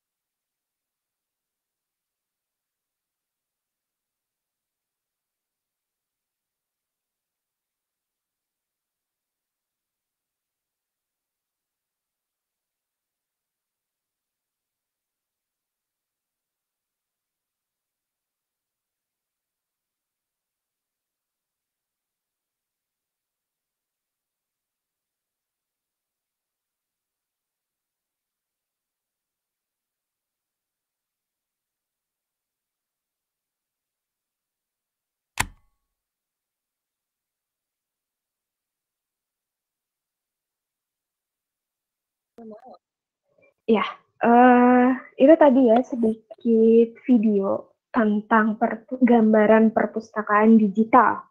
Gambaran perpustakaan digital.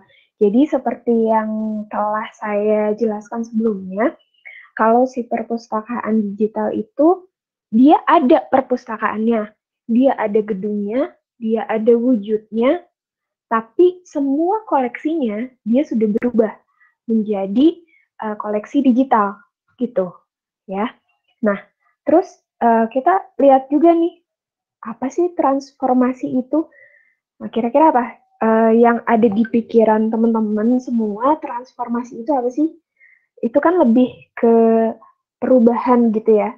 Perubahan. Nah, perubahannya tuh di mana sih uh, si perpustakaan ini tuh? Nah, perubahannya itu dia bisa dari bentuknya. Kalau bentuknya tadi saya udah jelaskan tuh. Awalnya tuh kita ada perpustakaan konvensional, kemudian kita berubah lagi menjadi perpustakaan hybrid, di mana hybrid ini adalah uh, transisi, perpustakaan transisi dari perpustakaan konvensional yang akan menuju ke perpustakaan digital. Jadi dia koleksi tercetaknya masih ada dan koleksi yang elektroniknya pun ada tersedia dalam satu perpustakaan itu. Itu namanya perpustakaan hybrid. Kemudian perubahan lagi nih bentuknya dari perpustakaan hybrid ke perpustakaan digital.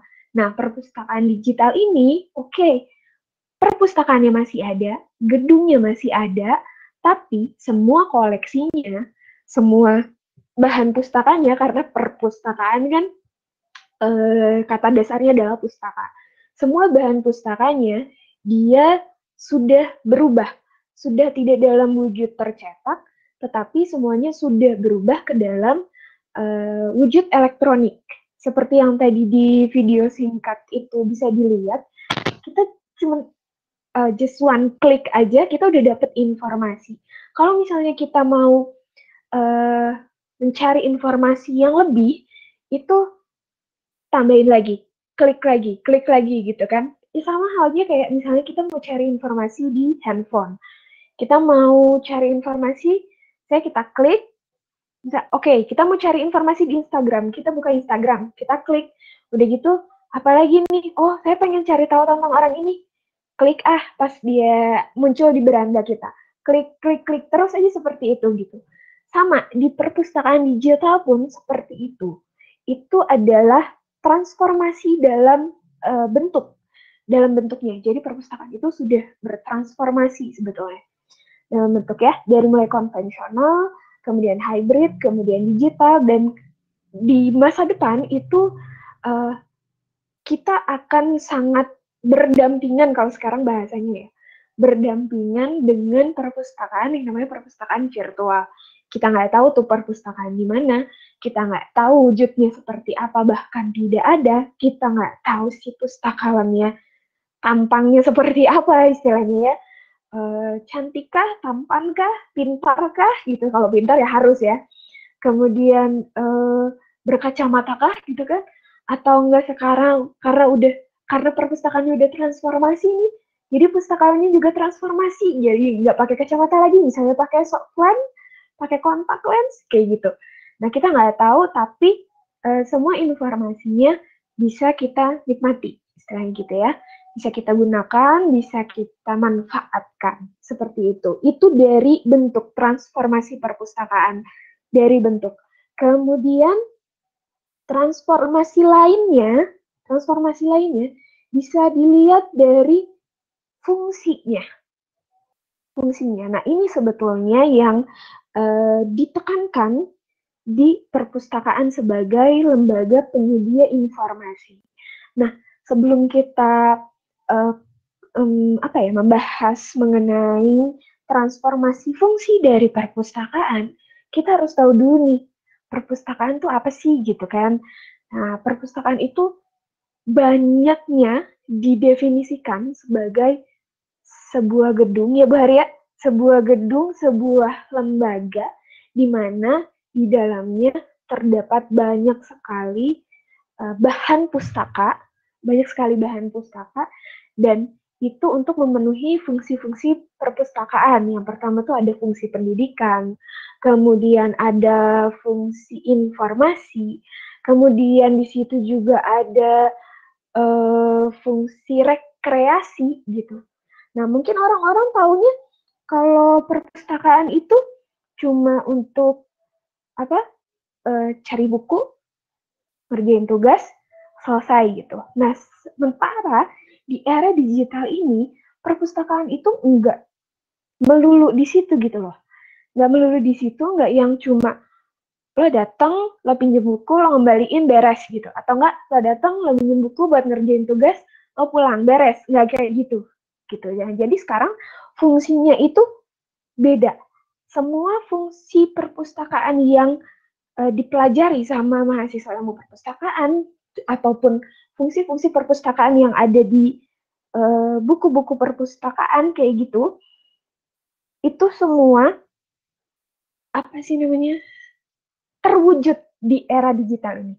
Terwujud di era digital ini. Yang pertama misalnya fungsi pendidikan, ya fungsi pendidikan. Uh, perpustakaan iyalah dengan segala informasinya dia bertransformasi, dia berubah uh, untuk menyediakan informasi. Ya, nah tapi ya ampun uh, sekarang kan ya kalau misalnya mau informasi gampang aja. Lo tinggal buka Google gitu kan. Tinggal search aja tuh di kolom search misalnya apa? Cara menurunkan berat badan dalam lima hari tanpa diet. Misalnya kayak gitu ya. Uh, terus udah gitu tinggal klik aja udah keluar semua informasi tapi apakah informasi tersebut valid itu belum bisa dipastikan. Beda halnya ketika kalian ke perpustakaan, beda halnya ketika kita ke perpustakaan datang cari sumber informasi lewat buku atau lewat jurnal, nah itu dapat dipertanggungjawabkan. Oh ternyata cara dia itu banyak loh. Ada yang bisa lewat golongan darah, ada yang bisa diet uh, menurut apa ya hmm, berat badannya misalnya oh berat badannya cuma butuh turun misalnya 2 kilo nih, oh berarti seperti ini caranya. Kemudian juga menurut apa ya, hmm, jenis kelamin misalnya, kalau perempuan harus seperti ini, kalau laki-laki kalau mau diet tuh harus seperti ini. Saya, kamu baca di mana? Jurnal kesehatan ini misalnya. Nah itu lebih valid, itu lebih bisa dibuktikan dan itu bisa lebih dipertanggungjawabkan kalau misalnya di internet nih, kita ngikutin semua kata-kata yang ada di internet. Misalnya, oke, okay, gue mau diet nih, gue cari informasinya misalnya. Kemudian dia uh, apa ngikutin, udah gitu ternyata nggak turun. Udah sebulan, udah dua bulan nggak turun-turun. Terus kan kita nggak bisa ngeklaim, wah ini salah nih. Enggak, di orang lain itu berhasil kok, tapi di kamu enggak gitu. Nah, beda halnya kalau misalnya uh, kita cari informasinya tuh by riset. Misalnya kalau di buku menurut uh, golongan darah O, tapi kan di situ dikasih tahu lagi, dikasih penjelasan lagi. Oh, ini kondisinya harus seperti ini loh baru berhasil. Ini pantangannya seperti ini loh baru berhasil. Seperti itu. Itu bedanya ya fungsi pendidikan di uh, internet biasa sama di perpustakaan. Jadi uh, beda sih kalau di perpustakaan itu kan ada si pustakawannya yang pasti uh, harusnya harusnya itu lebih apa ya hmm, bisa berkomunikasi dengan baik itu untuk memberikan informasi. Kemudian uh, fungsi informasi kalau informasi iya ya semua informasi itu bisa kita dapatkan di uh, perpustakaan asal jangan informasi kabar mantan aja ya, itu beda lagi ceritanya ya Bu Arya ya jadi beda lagi itu Hmm. Jadi kalau misalnya fungsi informasi itu misalnya uh, kalian jalan-jalan nih ke Singapura misalnya, kalian jalan-jalan ke Singapura, terus kalian um, istilahnya lost, tersesat gitu kan, hilang arah dan lain sebagainya gitu kan. Nah, kalian bisa nggak nanya ke perpustakaan? Bisa. Kalian, uh, maksudnya, ya Bu, tinggal klik aja gitu kan, uh, apa pakai Google Map apa segala macam. Eh Google Map juga enggak enggak apa ya enggak 100% akurat. Kadang-kadang ada loh yang jalannya disesatkan sama si Google Map itu gitu kan. Jadi for sure hmm, ke better ke perpustakaan deh gitu. Atau enggak ke apa ya platform informasi gitu. Nah seperti itu. Itu yang fungsi informasi tadi kita udah uh, ada berapa fungsi ya dua ya ada fungsi perpustak eh sorry fungsi pendidikan sama fungsi hmm, informasi. Nah, kemudian ada juga fungsinya yaitu fungsi sarana simpan karya manusia. Jelas, ya, jelas. Bentuknya apa? Apa pun. Bisa buku, bisa kemudian apa sih jurnal, tulisan, artikel, kemudian bisa kalau foto bisa nggak bu? Bisa, bisa foto, kemudian bisa peta, bisa video, ya. Apa pun bisa disimpan di perpustakaan. Asal mengandung informasi yang jelas, nggak yang hmm, apa ya okay, uh, eh, sarana simpan karya ilmu pengetahuan manusia. Oke, okay. uh, eh, saya punya ilmu nih, ilmunya adalah ilmu menuju misalnya ya, ilmu meramalkan sesuatu misalnya. Menurut uh, apa pakai perhitungan segala macam nggak nggak ini mah feeling aja gitu terus nulis udah gitu disimpan aja di perpustakaan nggak bisa kayak gitu gitu. Segala sesuatu hasil karya pola pikir manusia yang bisa dipertanggungjawabkan gitu. Itu yang bisa disimpan di perpustakaan. Nah, ini ya transformasinya mulai hmm, kerasa di sini gitu. Nah, sekarang yang banyak itu apa sih sarana eh sorry uh, hasil karya manusia yang disimpan di perpustakaan itu banyaknya apa sih gitu perasaan orang nerbitin buku udah jarang gitu kan bahkan beberapa toko buku tutup gitu kan Gunung Agung ada yang tutup nah kemudian uh, juga ada beberapa uh, toko buku lainnya yang tutup. Terus sekarang tuh banyaknya apa sih setelah ada transformasi perpustakaan di era digital ini? Banyaknya apa sih? Nah, banyaknya itu biasanya dalam berupa video atau dia tulisan. Tulisannya itu bukan di buku tapi di jurnal. Kenapa harus jurnal? Jurnal itu dia uh, update ilmu keilmuannya itu update ya. Jadi biasanya kalau jurnal itu hanya bertahan 10 tahun. Itu tuh udah lama banget gitu. 10 tahun tuh udah lama banget dan itu pasti diupdate lagi, diupdate lagi apalagi sekarang contoh lah, ambil contoh kita ada uh, kasus pandemi coronavirus yang uh, apa ya? Itu harus diupdate terus. Sekarang bahkan katanya udah ada hmm, jenis baru lah, virus baru lah, apalah segala macam. Nah, itu harus terus uh, diupdate dan tulisan itu bisa kita dapetin di perpustakaan. Di semua perpustakaan kah? Enggak. Enggak semua perpustakaan. Ya, bisa kita update di perpustakaan uh, yang khusus memang misalnya di kesehatan, kedokteran yang seperti itu, ya. Nah, itu transformasinya. Jadi nggak cuma buku aja ya, uh, apa sumber bahan pustaka itu. Nah, sekarang uh, fungsi selanjutnya adalah fungsi kultural atau budaya. Kok perpustakaan bisa jadi apa suatu tempat yang berfungsi untuk budaya sih maksudnya gimana?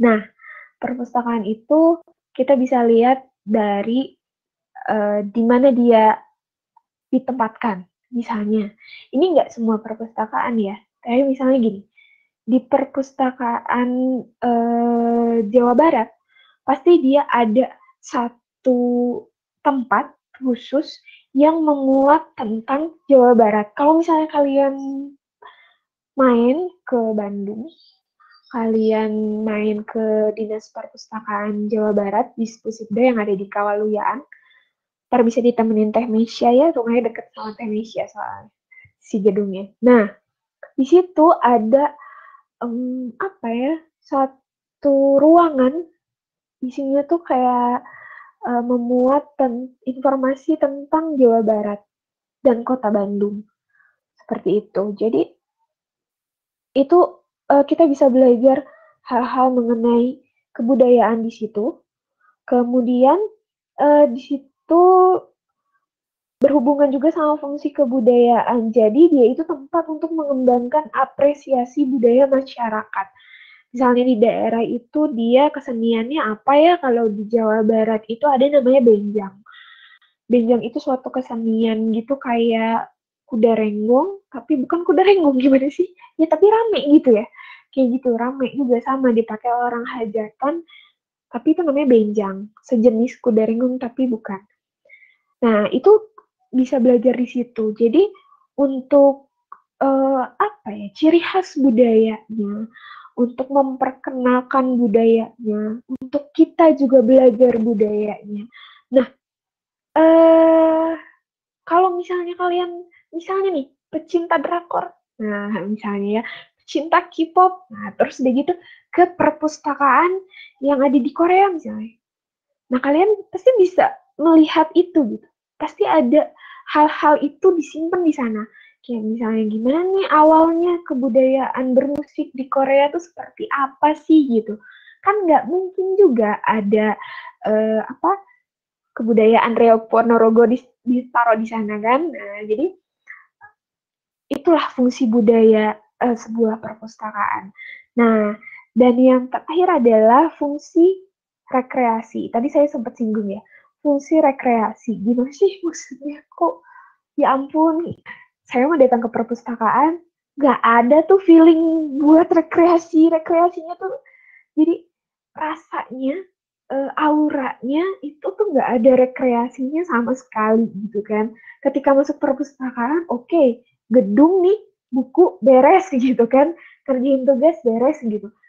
Nggak pernah tuh saya feel happy gitu kan yang ada tuh selalu ketika masuk ke perpustakaan apa sih tertekan gitu kan? Nah tapi kita harus lihat lagi di sini karena transformasi tadi karena perubahan tadi di perpustakaan harusnya bisa menyediakan sarana-sarana yang membuat kita itu uh, senang. Suasananya tuh menyenangkan. Kalau di sini ada dari UI mungkin boleh merasa bangga ya. Kalau perpustakaan UI, begitu kita masuk tuh di depan, itu yang nyambut bukan pustakawannya. Apa? Starbucks. Ayo loh, perpustakaan ada Starbucksnya gitu kan. Begitu masuk ada movie theater. Hah? Ini perpustakaan apa bioskop gitu kan. Tapi ternyata, oh iya ya, perpustakaan tuh memang bertransformasi seperti ini, apalagi di era digital. Jadi nggak ada nggak apa ya istilahnya tuh nggak ada kata cuma uh, gedung buat nyimpen buku, kertas-kertas numpuk, arsip dan lain sebagainya beres gitu abis itu nggak kayak gitu. Jadi sekarang itu perpustakaan tuh luas sekali fungsinya sudah uh, luas, kemudian juga uh, penggunanya juga semakin luas gitu kan. Nggak hanya orang Indonesia aja orang luar negeri juga bisa kok baca koleksi kita gitu kan. Orang luar negeri juga bisa kok baca jurnal kita gitu tulisan-tulisan kita seperti itu. Jadi memang transformasi perpustakaan di era digital ini dia itu apa ya cakupannya tuh luas sekali. Cakupannya luas sekali, tetapi dia tidak bergeser dari fungsi perpustakaan yang sudah ada sebelumnya tadi. Ya fungsi informasi tadi, kemudian fungsi pendidikan, bahkan sampai fungsi rekreasi. Nah, yang berubah itu dia hanyalah hmm, apa ya tatanannya, tatanan di dalam perpustakaannya.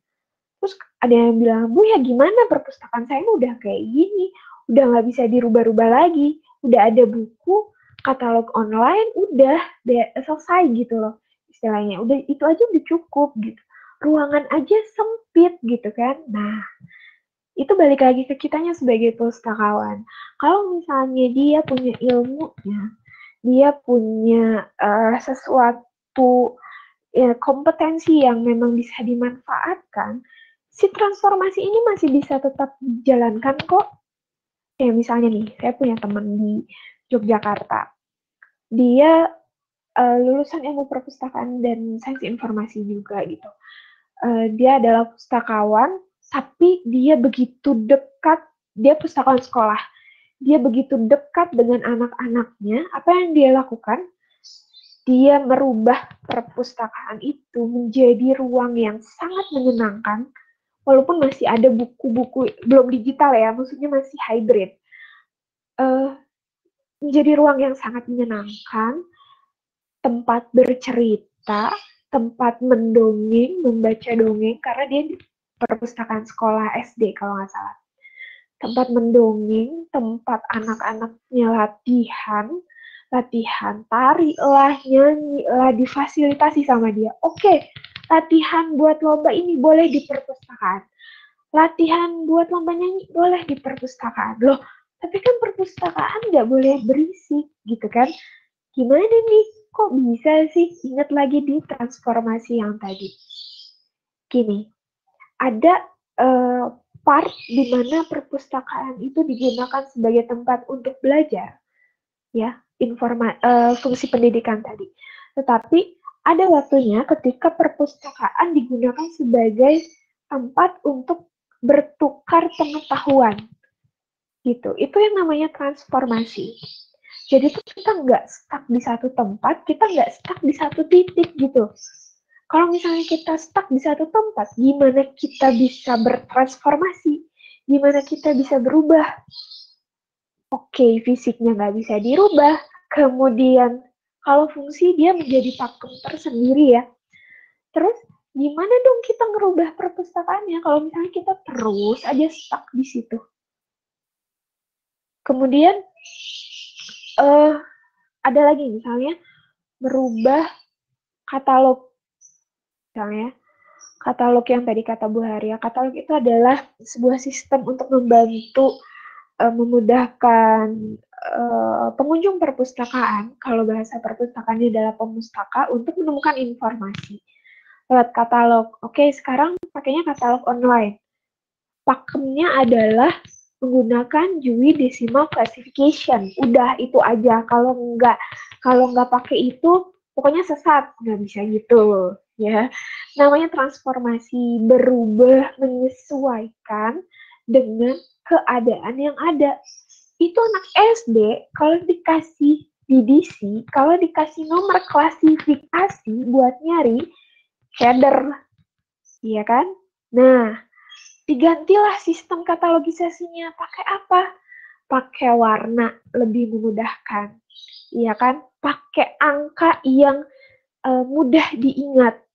Jadi itu satu dua tiga itu kan mudah diingat sama anak SD kan kalau misalnya uh, apa namanya ada anak SD nih datang ke pustakawannya.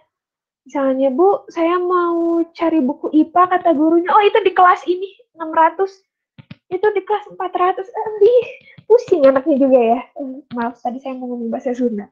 Pusing ya anaknya juga. Mikirnya juga pusing gitu. Hah? Apaan tuh? Kelas 600 mikir anaknya gitu kan. Nah kalau misalnya coba cari di uh, apa? Di rak yang ada tempelan kertas lipat warna kuning. It easier lebih mudah gitu loh. Lebih mudah diterima sama anak-anak dan juga masih bisa kita gunakan gitu. Gitu itu ya. Transformasi itu kita nggak boleh maksudnya gimana ya? Hmm, kita berubah tapi kita harus tetap ada di jalannya gitu harus tetap ada di pakemnya harus tetap ada di jalurnya seperti itu. Uh, fungsi perpustakaan berubah bukan berubah berkembang. Ya lebih berkembang gitu. Perpustakaan bisa jadi tempat sharing bisa jadi tempat nongkrong yang berbobot gitu kan. Bisa juga jadi tempat yang menyenangkan bikin happy gitu kan. Ketika galau datang ke perpustakaan ketemu temen sharing nyenengin gitu kan jadi uh, bukan tambah bikin bete ya nah gitu nah itu ya jadi hmm, perpustakaan itu di mana pun sekarang harus udah bisa menyeimbangkan dengan kondisi yang ada. Gak bisa tuh. Ya gimana? Kita aja sekarang kan harus berdampingan istilahnya ya dengan new normal, dengan keadaan yang begitu baru buat kita gitu. Nah terus sekarang perpustakaan mau gitu-gitu aja. Siapa yang bakal datang gitu kan? Siapa yang bakal lihat bukunya gitu kan? Siapa yang bakal baca bukunya? Orang nggak ada gitu. Orang nggak boleh berkerumun sekarang perpustakaan mau gitu-gitu aja kan nggak bisa. Nah, di sinilah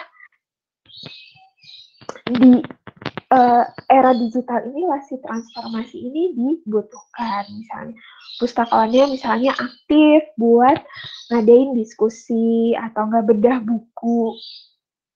Oke lah bukunya nggak dibaca tapi kita bedah aja yuk gitu bareng-bareng kan seru. Atau enggak uh, emang harus buku doang ya yang dibedah ya. Kalau film emang nggak bisa, bisa dong jelas. Misalnya kita bedah film perpustakaan yang ngadain boleh itu namanya transformasi berkembang berubah nggak stuck di situ-situ aja. Gitu ya. Waktu saya masih lama nggak apa sedikit lagi Bu Haria Bu Mei paling 10 menit aja 10 menit lagi aja kali ya. 10 menitnya? menit. buat tanya jawab aja gimana? Boleh boleh boleh. Buat tanya jawab aja gitu aja kali ya. Jadi kita harus uh, yang mau tanya boleh uh, di chat aja. Sambil nunggu pertanyaan. Ya, jadi saya lurusin lagi kalau si transformasi ini yang berubah ini bukan cuma perpustakaannya aja, tapi kita juga sebagai pengguna perpustakaannya, kita harus ikut berubah juga, kita harus ikut bertransformasi juga, harus ikut berkembang juga gitu nggak bisa diem di situ aja gitu. Sekarang perpustakaannya udah lari nih, udah berubah, udah beda, udah keren banget. Eh, kitanya masih di situ-situ aja. Ya nggak bisa gitu kan. Jadi ya kita dua-duanya harus jalan barengan. Nggak. Baik, mungkin hmm uh, jika ada pertanyaan langsung diketik di chat aja di room chat aja kali ya, ya. Bu Mei ya. Iya iya boleh boleh. Silakan buat teman-teman mungkin ada yang ingin ditanyakan kembali langsung ditulis di kolom chat aja. Tip sambil saya nungguin pertanyaan ya.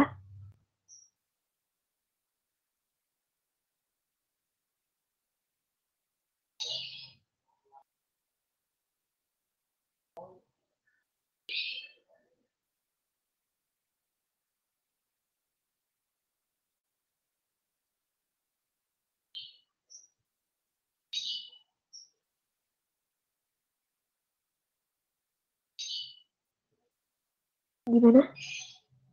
Oh, udah ada yang typing.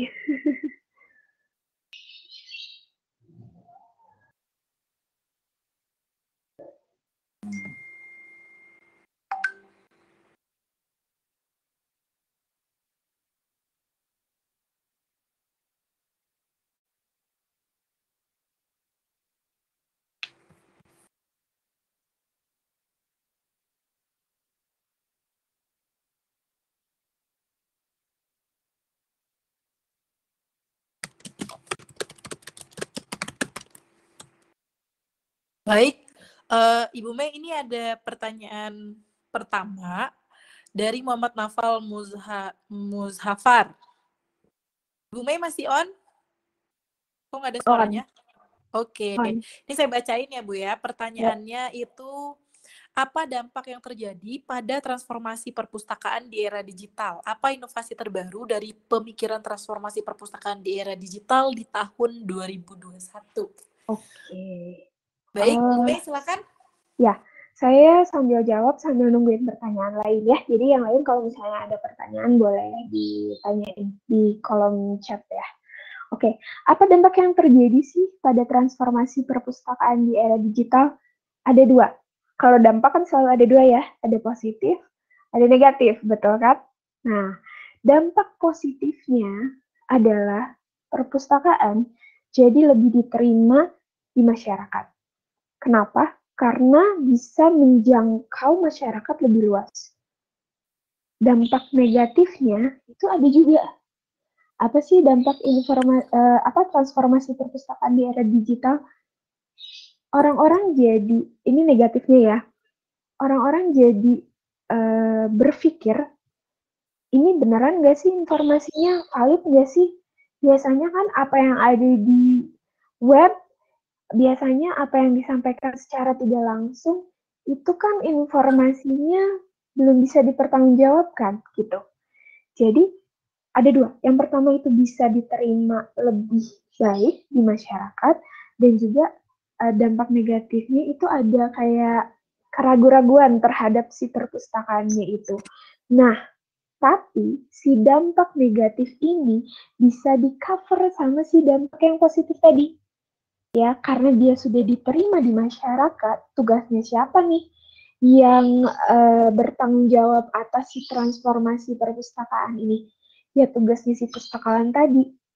Ya si tugasnya pustakawan. Pustakawan itu bukan cuma orang sekedar jagain buku di perpustakaan. It's a big no ya.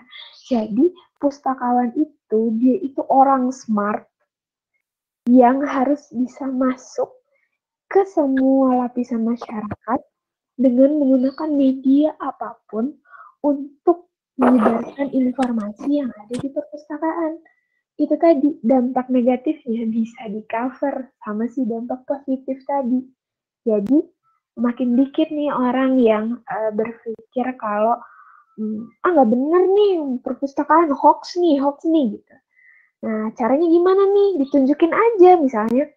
Oh, oh tidak, kami resmi dari perpustakaan, misalnya ya perpustakaan ini sebutkan namanya supaya kalau misalnya ada apa-apa itu bisa dipertanggungjawabkan dari perpustakaan ini. Kami mengetahui sumber informasinya dari ini.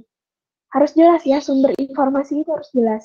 Kami mengetahui sumber informasinya dari ini, misalnya tentang eh, apa ya, hmm, kesehatan misalnya. Saya dari perpustakaan Fakultas Kedokteran misalnya.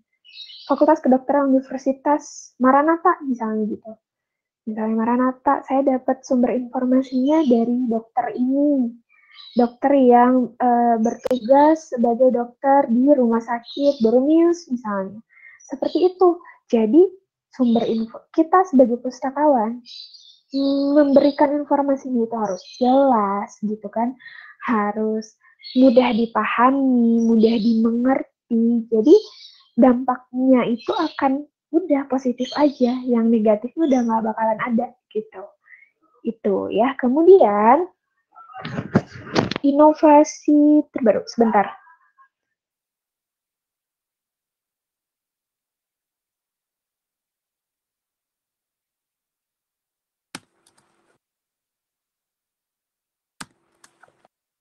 Gimana Bu Mei? Oke, okay. inovasi terbaru dari pemikiran transformasi perpustakaan di era digital uh, di tahun 2021. Tadi seperti yang udah saya bahas tadi, perpustakaan harus ngikutin perkembangan zaman yang ada, perkembangan saat ini gitu. Nah, saat ini tuh kayak gimana sih perkembangannya? Dilihat nih, si new normal ini lagi kayak gimana? Orang-orang nggak mungkin bisa datang ke perpustakaan, orang-orang nggak bisa ngunjungin perpustakaan, terus gimana gitu kan? Nah, inovasi apa nih gitu? Kayak yang tadi udah saya bilangin, pustakawannya harus aktif, harus aktif, uh, jemput bola istilahnya kayak gitu. Ya caranya gimana? Bisa lewat email, bisa by uh, web, web perpustakaan gitu kan? Atau enggak misalnya kalau si perpustakaannya skalanya kecil. Misalnya perpustakaan, saya contohin perpustakaan sekolah ya. Ada perpustakaan sekolah. Kan nggak ada siswanya, betul? Nggak ada siswanya. Nah, pustakawan ini bisa uh, via grup misalnya di WhatsApp misal. Via grup di WhatsApp uh, dengan cara uh, memberikan informasi ke guru-gurunya. Bu, Pak, ini ada uh, referensi buku pelajaran terbaru.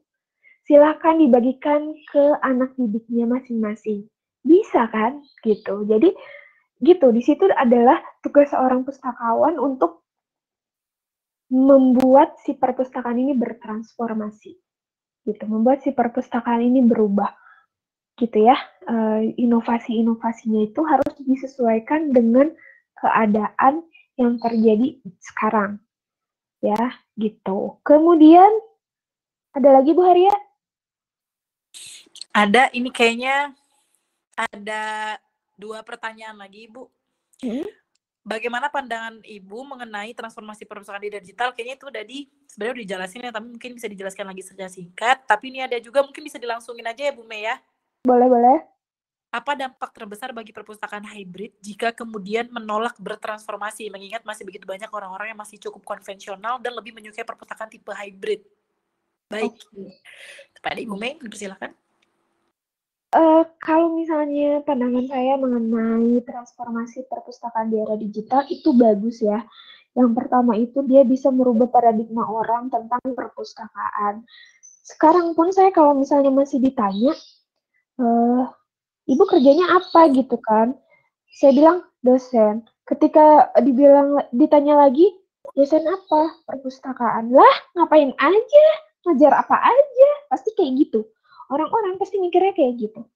Ngapain aja gitu kan? Ngajarin apa aja? gitu. Nah itu adalah paradigma orang yang belum berubah.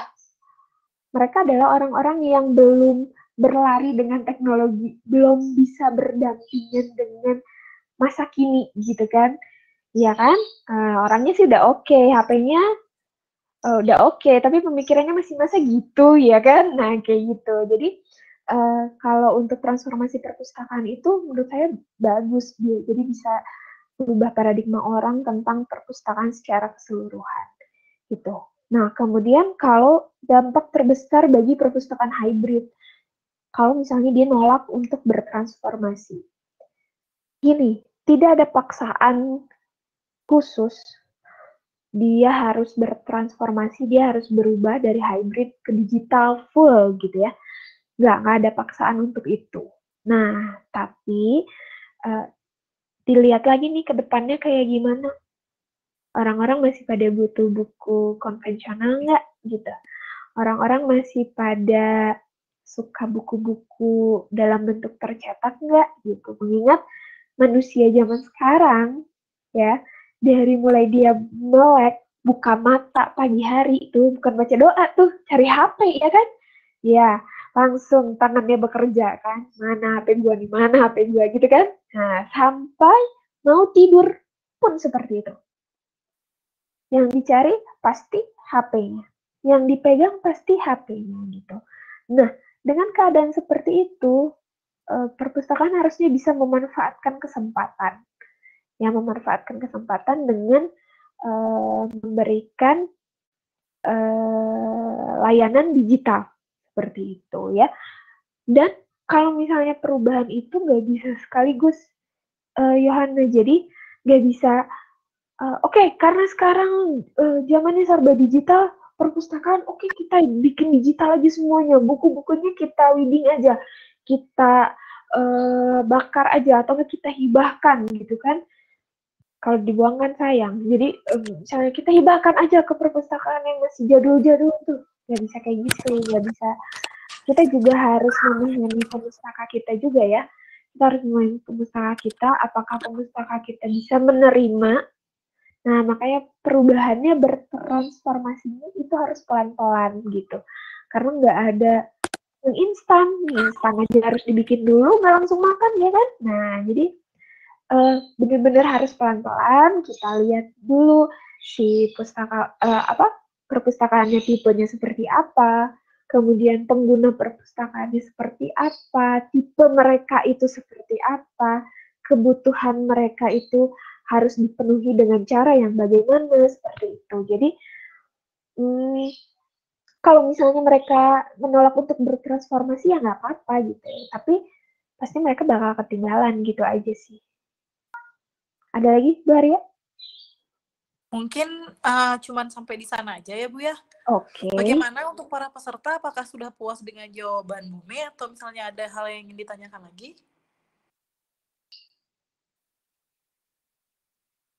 Oke, baik. Tampaknya nggak ada ya, Bu ya. ya. Uh, untuk para peserta sebelumnya, uh, oh ini ada sebentar. Oke, terima kasih banyak kata Yohana Chelsea. Oh iya, Baik, uh, untuk sebelumnya saya terima kasih dulu terhadap Ibu Mei atas jawaban dan pemaparan informasinya. Dan sekarang untuk para peserta sebelumnya saya meminta maaf terlebih dahulu kami dari dari dari uh, yang melaksanakan, yang menyelenggarakan kegiatan dan dari tim KI memohon maaf bahwa terjadi kesalahan teknis. Udah masuk. Udah, udah. Ya, silakan presentasi. Tes. Halo? Halo? Ya, tes. Ya, tes. Mangga, Ibu. Baik. Baik, terima kasih. Oke, Ah. Ibu. Silakan dilanjutkan, Ibu. Baik, Assalamualaikum warahmatullahi wabarakatuh. Waalaikumsalam warahmatullahi wabarakatuh. Selamat sore rekan-rekan eh, para mahasiswa yang mungkin sejak pagi tadi sudah menunggu ya. Mohon maaf ada kendala jaringan di IPDN. Eh, Seyogianya saya tadi pagi kan menyampaikan. Yang ingin saya sampaikan melanjutkan dari narasumber yang terdahulu bahwa pada hari ini kita akan berbicara tentang transformasi eh, perpustakaan di era digital. Eh, saya Neni Alyani, saya adalah pegiat literasi, dosen, dan penulis buku. Saat ini adalah eh, event saya untuk menyampaikan bagaimana sesungguhnya mentransformasikan perpustakaan di era eh, digital ini. Eh, kemudian kepada kru Bisa AI yang telah mengundang saya pada event kali ini, semoga tim kreatif muda ini makin bersemangat mengangkat tema-tema peradaban bangsa. Pemirsa, hadirin, para mahasiswa yang masih berada di uh, event ini. Semoga event ini bermanfaat bagi kita semua ya. Sebentar karena layarnya tidak bisa membuka uh, PowerPoint saya, mungkin ya nggak bisa membuka ya. Uh, saya buka dulu PowerPoint yang ada di saya sebentar supaya uh, apa terarah pembicaraan kita ya. Uh, sebentar ya, sebentar. Hmm, Oke. Okay. Baik, rekan-rekan mahasiswa yang saya cintai. Nah, ini dia transformasi perpustakaan. Eh, sebelum hari ini saya bertugas di Dinas Perpustakaan dan Kearsipan Daerah Provinsi Jawa Barat dan saya adalah Kepala Bidang Budaya Minat Baca Lanjut. Bapak Ibu, rekan-rekan mahasiswa, di era digital ini kita tetap harus memahami tentang uh, fungsi perpustakaan Fungsi perpustakaan itu ada uh, banyak ya, tetapi kita simpulkan saja menjadi empat poin, yaitu fungsi edukatif, kemudian fungsi informasi, fungsi rekreasi, dan fungsi penelitian. Uh, ada beberapa fungsi yang bisa kita gabungkan dalam satu apa namanya satu paket yang sama begitu. Seperti fungsi edukatif apakah bisa di, dimasukkan ke dalam fungsi informasi? Jawabannya adalah yes gitulah. Kemudian fungsi informasi bisa enggak dengan uh, research gitu? Jawabannya adalah ya. Jadi tes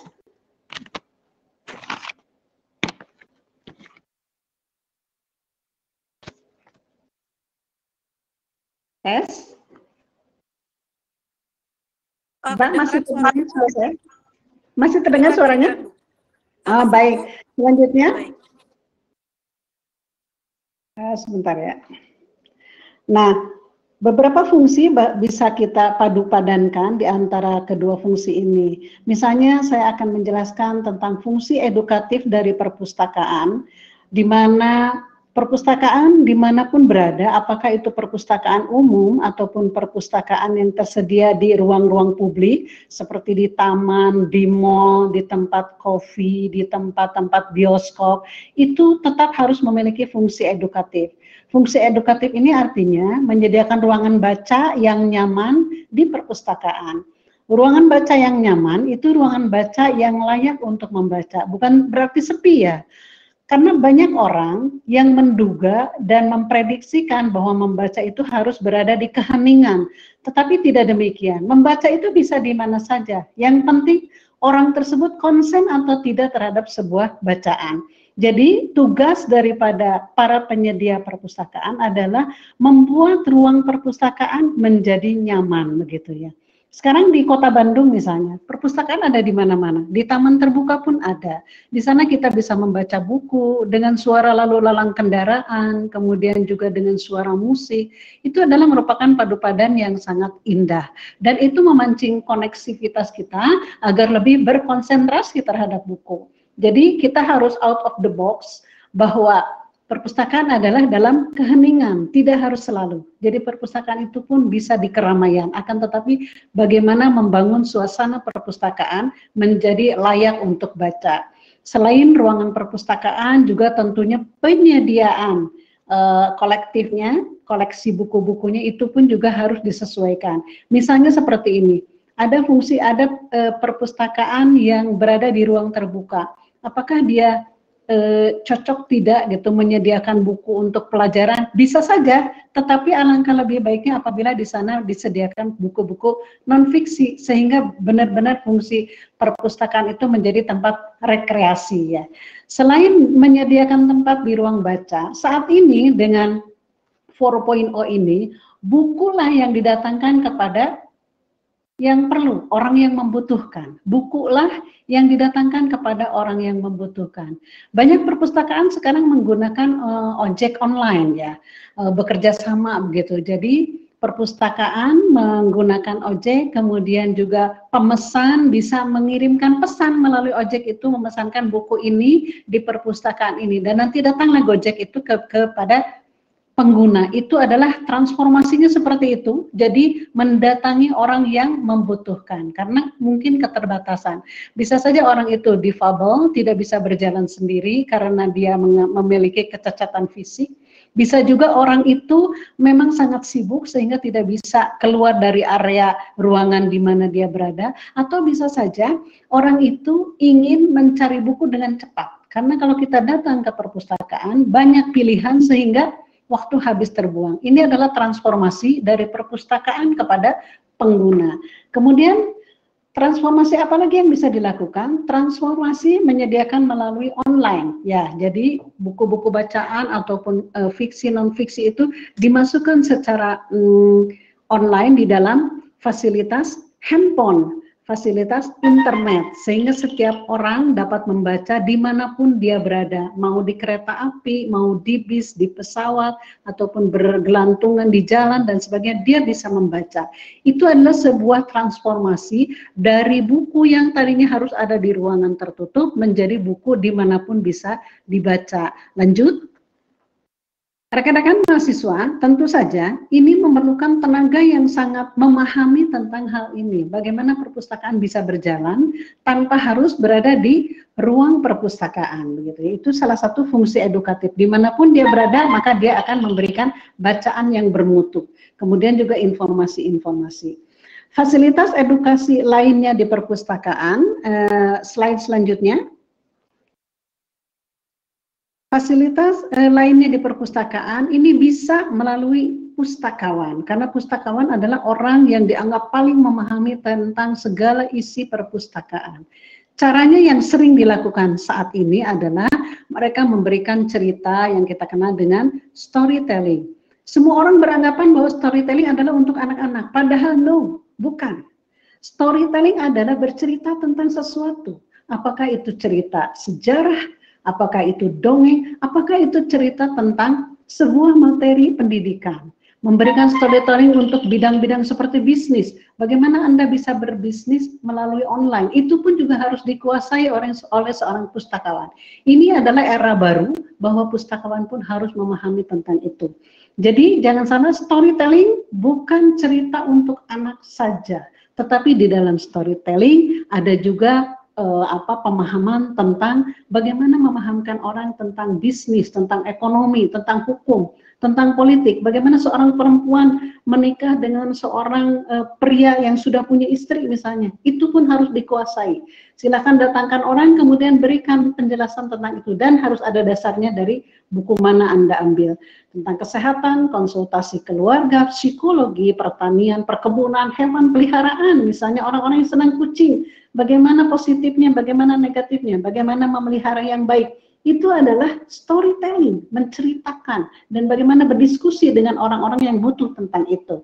Kemudian juga belajar bahasa asing, misalnya bahasa Inggris, bahasa Arab, bahasa Jerman, itu adalah uh, fungsi di perpustakaan. Ini tidak berarti seorang pustakawan harus menguasai bahasa asing, bukan begitu. Tetapi pustakawan mencari orangnya, orang yang mampu melakukannya dan dia adalah sebagai fasilitator di sana. Semuanya bisa dilakukan baik online maupun offline. Di sinilah kita harus bermain bahwa perpustakaan fungsinya adalah edukatif. Kemudian edukasi melalui orang lain di sebelah kanan Bisa saja dilakukan jumpa penulis, misalnya kita mengundang para penulis ke perpustakaan ataupun mengundang mereka melalui online. Kemudian mereka berbicara di sana bagaimana menulis novel, lagu, jumpa sutradara dan sebagainya. Jumpa pelukis, misalnya jumpa para inspirator, motivator. Dan ini akan menimbulkan semangat bagi orang-orang yang mendengarkannya. Ini adalah transformasi, jadi bukan berarti pustakawan itu hanya menjaga buku, tetapi dia juga mentransformasikan kepada orang lain. Lanjut.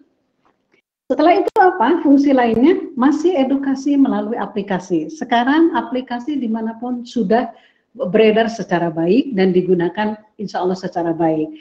Kita bisa menggunakan Insta Story yaitu programnya jadi bisa bercerita melalui Instagram, kemudian di like oleh banyak orang ataupun juga dilombakan. Ya ini adalah merupakan tahap awal dari sebuah transformasi perpustakaan dengan menggunakan aplikasi ya. Kemudian juga mereka bisa melanjutkan cerita di YouTube dengan konten-konten menarik Misalnya ada buku baru nih, berceritalah tentang buku baru di YouTube dan kemudian semua orang ingin membaca buku itu.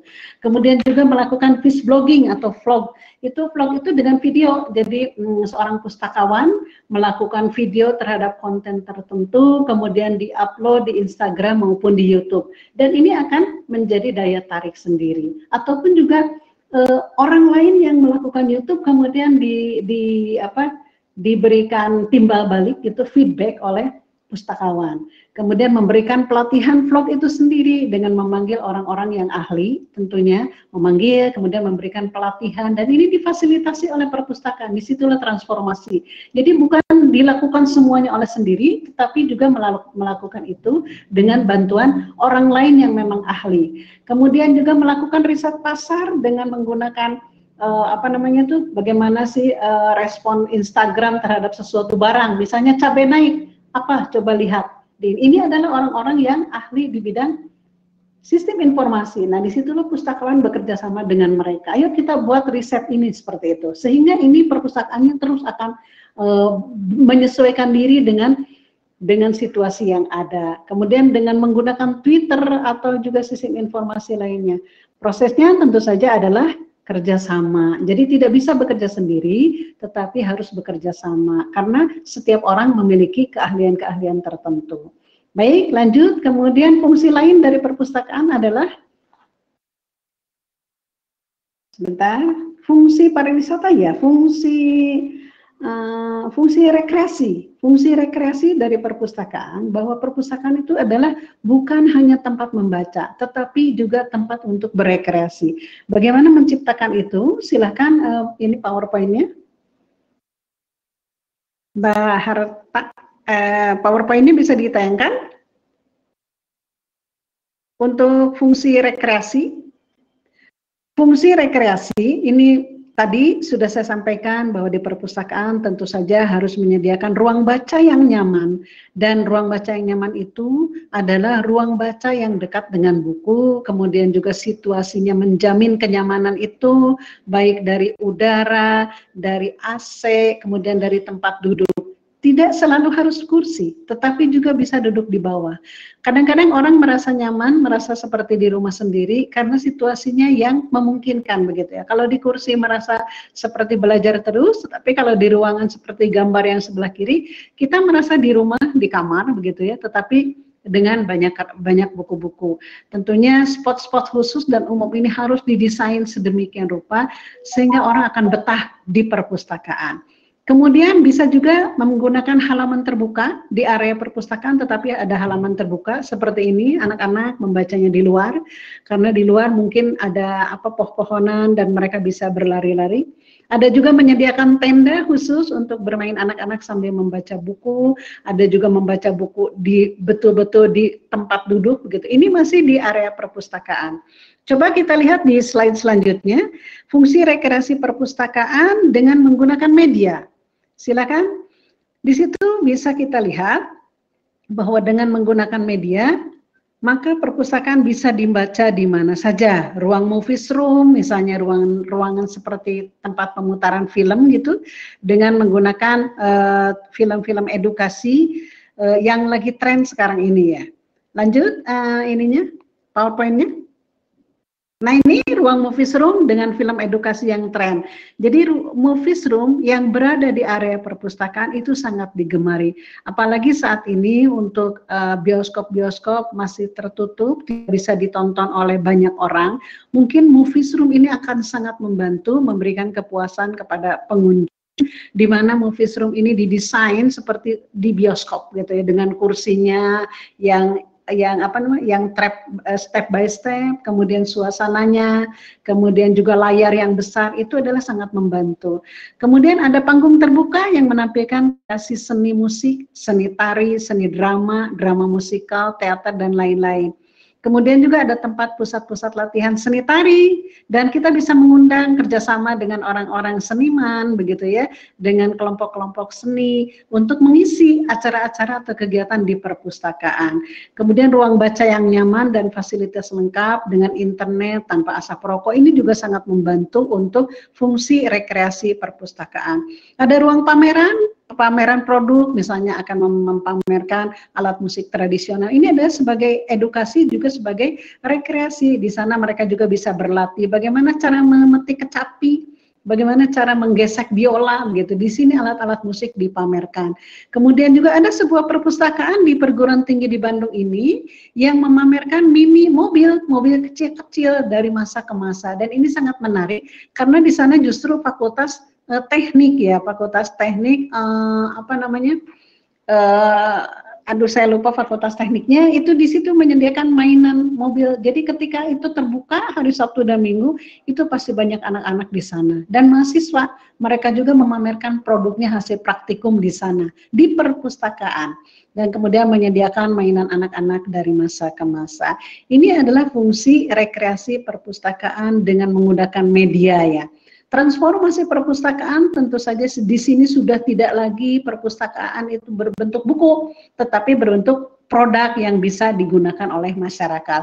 Dan ini bisa saja bukan di ruang perpustakaan, tetapi di luar area itu, di luar uh, apa namanya eh, tempat-tempat pelayanan umum, sehingga setiap orang yang datang ke sana bisa menikmatinya. Penyelenggaranya adalah siapa? Bisa masyarakat umum, bisa juga lembaga perpustakaan. Lanjut. Kemudian kegiatan perpustakaan kekinian nih, kekinian di era 4.0. Ini yang sudah saya lakukan ya, sengaja saya tampilkan yang sudah kami lakukan, karena kalau yang belum dilakukan saya tidak menjamin keabsahannya gitu ya. Sebuah materi itu harus valid ya, harus reliable dan sudah teruji. Nah ini salah satu adalah yang diselenggarakan Hackathon UMKM 2020. Ini kerjasama Dinas Perpustakaan dengan Bisa AI ya.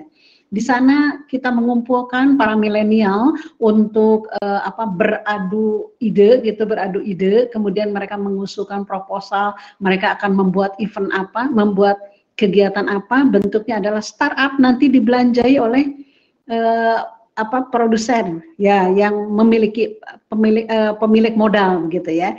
Karena mereka eventnya adalah event untuk berebut ide gitu. Jadi ini menjadi dilombakan. Setelah itu terjaring beberapa beberapa milenial yang memang mereka serius untuk melakukan startup. Ini dilakukan oleh perpustakaan hackathon UMKM jadi kita kerjasama perpustakaan dengan UMKM kemudian juga dengan uh, ini dengan penyedia ya bisa AI Kemudian yang di sebelahnya adalah jumpa pejabat. Ini dicoba untuk men, uh, apa, menghubungi para pejabat yang memang berkompeten. Mereka uh, concern terhadap peningkatan apa namanya itu perempuan, peningkatan untuk edukatif gitu ya. Jadi kita coba untuk uh, share di sini karena kan sekarang uh, ininya daring maka kita coba untuk itu. Kemudian jangan salah bahwa kita juga sangat luas. Perpustakaan itu sangat luas untuk mentransformasikan ilmunya ke berbagai arah. Contohnya yang empowering women in kuningan culture itu adalah bagaimana uh, seorang pimpin istri pimpinan daerah memberikan motivasi kepada para perempuan untuk berdaya begitu. Sementara yang uh, PowerPoint yang di sebelahnya adalah tips dan trik penulisan karya ilmiah populer untuk publikasi. Ini adalah kerjasama dengan para penulis, para wartawan, kemudian juga mereka memang uh, memang apa namanya itu memang berkecimpung di dunia itu.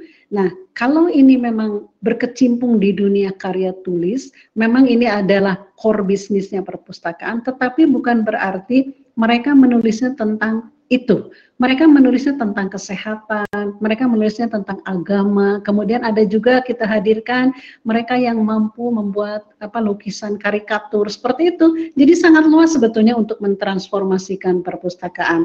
Lanjut, ini adalah kekinian ya, fungsi perpustakaan kekinian.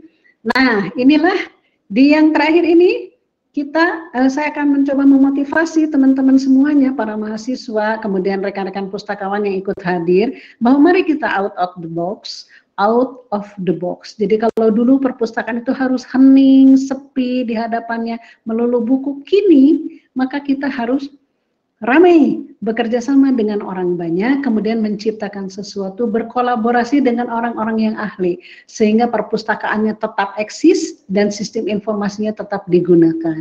Demikian Bu Haria yang bisa saya sampaikan, mungkin nanti kita akan berkembang dengan tanya jawab. Terima kasih. Assalamualaikum warahmatullahi wabarakatuh. Waalaikumsalam warahmatullahi wabarakatuh.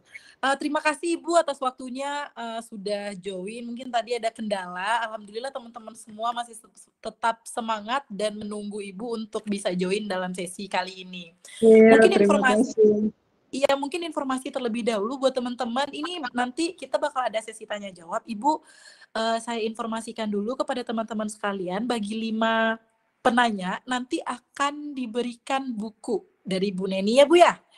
Ya betul. Nah, betul. Nanti dicatat alamatnya ya. Iya baik. Uh, mungkin ini sudah ada yang bertanya Bu. Iya. Izin saya bisa bacakan.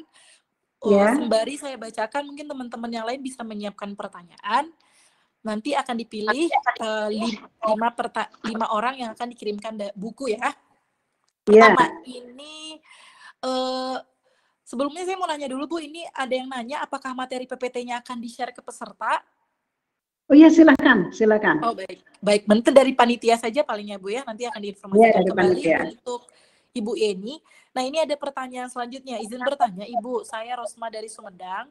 Bagaimana mungkin ya, bagaimana cara memotivasi seorang remaja yang masih awam dengan membaca buku agar tidak terlalu terpengaruh oleh era digital, misalnya oleh pengaruh gadget Mangga Ibu silahkan. Waktu dan tempat Baik, saya jawab satu-satu ya. Bu Rosman di Sumedang, berarti sebenarnya lokasinya dekat dengan saya di sini ya, karena saya posisi di Jatinangor. Bu Rosma, bagaimana memotivasi seorang remaja agar tidak terpengaruh dengan gadget?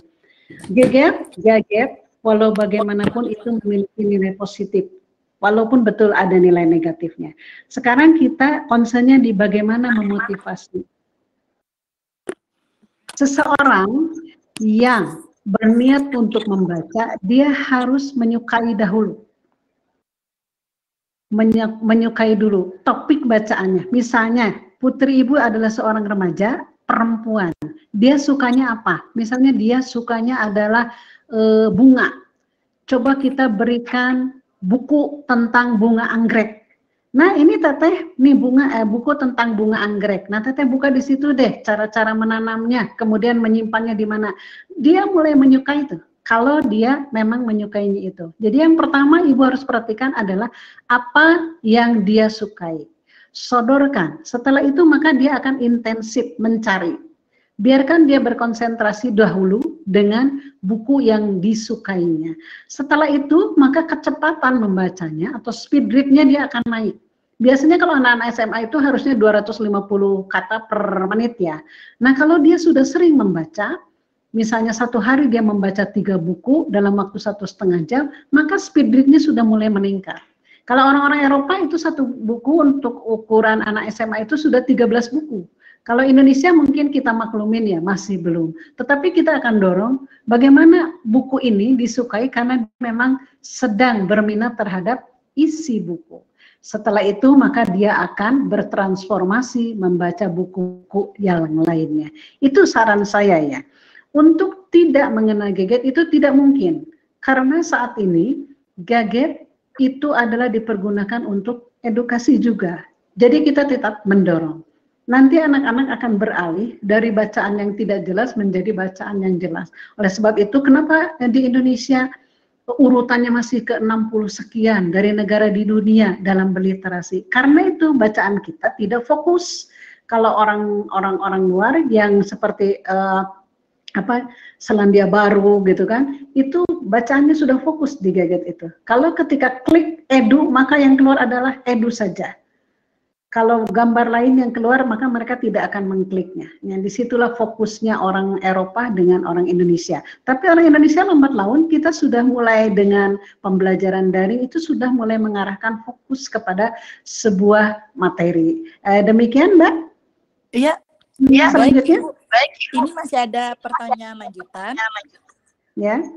Dari Kart Kartiwi Nuraini. Izin bertanya, Ya. Bu, saya Kartiwi dari Sumedang. Bagaimana cara untuk membangun dan mengembangkan perpustakaan digital? Hmm. Baik, Perpustakaan silakan. digitalnya. Iya. Baik, terima kasih Mbak Kartiwi. Membangun perpustakaan digital, jangan lupa berikanlah kepercayaan kepada orang ahlinya ya. Jadi membangun perpustakaan digital maka kita harus melibatkan orang-orang yang ahli dalam bidang itu. Eh, satu rancangan bangunan itu harus dipersiapkan untuk rancangan bangunan digital. Ini kalau bangunannya adalah di area di area perkantoran begitu ya. Tetapi kalau bukan di area perkantoran, maka kita akan bangun rancang bangun desainnya adalah di dalam media, di dalam sistem informasi, di dalam handphone ataupun di dalam media lainnya. Nah ini adalah orang yang ahlinya. Misalnya di Jawa Barat kita sudah punya Candil Maca Dina Digital Library. Jadi membaca di dalam digital library. Ini sudah semua sebelum sebelum ditayangkan itu semua buku sudah dimasukkan ke dalam sistem informasinya oleh ahlinya. Itu membangunnya seperti itu. Jadi untuk membangun ini perlu komitmen bersama, perlu kebersamaan antara orang yang ahli di dalam perpustakaan dengan orang yang ahli di dalam sistem informasi. Kemudian mereka bersatu padu memadukan antara kebutuhan perpustakaan sebagai edukasi, sebagai rekreasi, sebagai penelitian dan sebagainya dengan sistem informasi karena tentu saja sistem informasi ini harus dipelajari. Demikian? Baik, Ibu. Demikian? Ya. Ya, ini ada lagi Bu pertanyaan. Eh, dari Cindy Hayati, apa kelebihan membangun perpustakaan digital? Apa kelebihannya? Iya, Oh, ya. Ibu. Baik, seperti tadi saya sampaikan bahwa perpustakaan itu adalah area yang bisa dipergunakan berbagai fungsi. Tetapi orang-orang yang mengakses area ini sangat terbatas. Kemungkinan mereka difabel, cacat fisik, tidak bisa pergi, tidak punya kendaraan. Apa yang harus dilakukan? Bisa menggunakan Gojek online, tapi apakah dia punya uang untuk itu? Mungkin besar keperluannya. Oleh sebab itu, maka fungsi perpustakaan digital antara lain untuk melayani yang ini, yang tidak mampu pergi ke perpustakaan. Kemudian bagaimana dengan waktu? Apakah orang-orang kerja bisa pergi ke perpustakaan setiap saat? Tentu saja tidak bisa. Orang-orang bekerja, dia waktunya sangat sempit, tetapi di sela-sela waktu dia membutuhkan bacaan, maka dia harus membaca di perpustakaan digital. Kemudian apalagi orang-orang tua, lansia, apakah mereka akan dibiarkan pergi ke perpustakaan? Mereka termasuk kaum difabel, kaum yang hmm, bukan disabilitas, gender, mereka termasuk gender orang-orang yang lemah untuk pergi ke perpustakaan. Maka mereka bisa disodorkan dengan sistem informasi. Siapa lagi yang bisa dengan itu? Anak kecil, anak kecil. Apakah mereka bisa pergi sendiri? Tidak bisa. Mereka juga bisa disodorkan perpustakaan digital melalui sistem informasi. Ini beberapa keuntungannya dengan membangun perpustakaan dengan sistem informasi. Eh, demikian, Bu Haria. Ada Iya, lagi? terima kasih banyak Ibu. Ini ada sudah tiga pertanyaan dari tiga orang. Ya. Ini masih ada dari Muhammad Naufal Muzafar. Hmm, pertanyaannya adalah apa inovasi terbaru dari transformasi perpustaka, perpustakaan di era digital di, di kegiatan perpustakaan ki- kekinian di era 4.0? Oh, baik. Inovasinya ya, inovasi kekinian. Kalau dulu ya, ini dari dari secara psikologis ya, kekinian dari secara psikologis, artinya dari orang-orangnya. Kalau dulu orang di perpustakaan tadi sudah saya sampaikan harus hening bening gitu kan dan di sekelilingnya buku. Apakah kini ada lagi kita temukan seperti itu? Tentu tidak. Sekarang perpustakaan itu sudah berfungsi sebagai tempat wisata. Jadi tentu saja jauh dari keheningan. Jadi jadi sudah merupakan tempat yang ramai. Ini dari sisi psikologis. Artinya bahwa pustakawan bukan lagi orang yang hanya penjaga buku, tetapi mereka sudah bertransformasi menjadi penjaga informasi. Bedanya penjaga buku dengan penjaga informasi adalah seperti ini. Misalnya tadi hujan, kemudian gunung meletus. Jadi jika ada hujan maka pasti gunung meletus. Itu adalah bukan penjaga informasi. Tetapi kalau penjaga informasi, kalau penjaga informasi, tadi hujan, tadi hujan dimungkinkan akan ada gunung meletus. Jika hujannya besar, gelap, itu lebih jelas lagi, itu penjaga informasi. Jadi pustakawan bukan lagi penjaga buku, tetapi penjaga informasi. Kemudian itu dari uh, sisi psikologis, dari sisi sosial, maka sekarang perpustakaan sudah membuka diri dengan berbagai kalangan, mendatangkan orang ke perpustakaan untuk bekerja sama, Bahkan sekarang di perpustakaan sudah ada coffee shop. Meskipun betul di perpustakaan tidak boleh ada asap. Karena apa? Karena dekat dengan buku. Tetapi coffee shop boleh. Coffee shop boleh karena dengan listrik gitu ya. Dan tidak masak memasak. Itu sudah boleh. Dilakukan bisnis. Berbicara tentang bisnis di perpustakaan boleh? Boleh. Kemudian melakukan lomba startup seperti tadi boleh? Boleh. Itu adalah salah satu inovasi daripada perpustakaan. Ya, itu mungkin ya. Baik, sudah, sudah jadi banyak lagi ya perubahan-perubahan yang sudah terjadi di perpustakaan yang menyesuaikan dengan keadaan saat ini gitu ya Bu ya. Iya betul. Iya. Nah ini ada pertanyaan nih Bu. Uh, bagaimana dari Yohana Chelsea Jahang? Bagaimana yeah. fungsi perpustakaan sebagai tempat nostalgia, misalkan bagi kakek saya yang sangat hobi membaca? Apa dampak terbesar bagi orang seperti beliau dan bagaimana mengakalinya di era 4.0? Oh, perpustakaan sebagai tempat nostalgia. Betul Ibu, perpustakaan itu adalah sebagai tempat wisata yang bisa dijadikan nostalgia. Coba kita lihat perpustakaan di Singapura. Di Singapura itu ada berapa lantai ya? Oh, kayaknya lebih dari 10 lantai deh perpustakaannya. Di sana di setiap sudut itu menjadi nostalgia bagi orang-orangnya. Di sana banyak sekali para lansia yang duduk eh, laki dan perempuan berpegangan tangan. Mohon maaf mereka juga eh, saling kasih sayang tapi tidak sampai dengan pornografi tidak ya. Tetapi mereka bercerita bahwa dulu di tempat ini kami bertemu saya tanyakan apa yang membuat Anda bahagia? Karena di sini saya bertemu dengan suami saya. Seperti itu. Kemudian juga di setiap lantai itu berbeda tempat eh, apa eh, ornamennya, hiasannya, ada lukisan, ada yang koleksi bunga, di lantai berikutnya ada yang koleksi lampu, seperti itu. Itu adalah perpustakaan sebagai tempat nostalgia. Dan untuk daerah 4.0. Jangan lupa kita bisa belanja, belanja wisata, belanja nostalgia melalui ini, melalui aplikasi. Kan sekarang sudah ada wisata dengan menggunakan aplikasi, kita bisa keliling seperti beneran pergi ke mana-kemana. Itu adalah salah satu positifnya dari era 4.0, memadukan perpustakaan dengan jadi terasa dekat gitu, padahal kita di Indonesia seperti kita berjalan-jalan ke mana saja. Coba kita bandingkan perpustakaan di Amerika. Di Amerika, perpustakaan itu bukan dilayani tetapi kita memilih sendiri. Di, begitu masuk, di pintu masuk kita ada pilihan. Mau melihat apa? Misalnya mau melihat gunung gitu.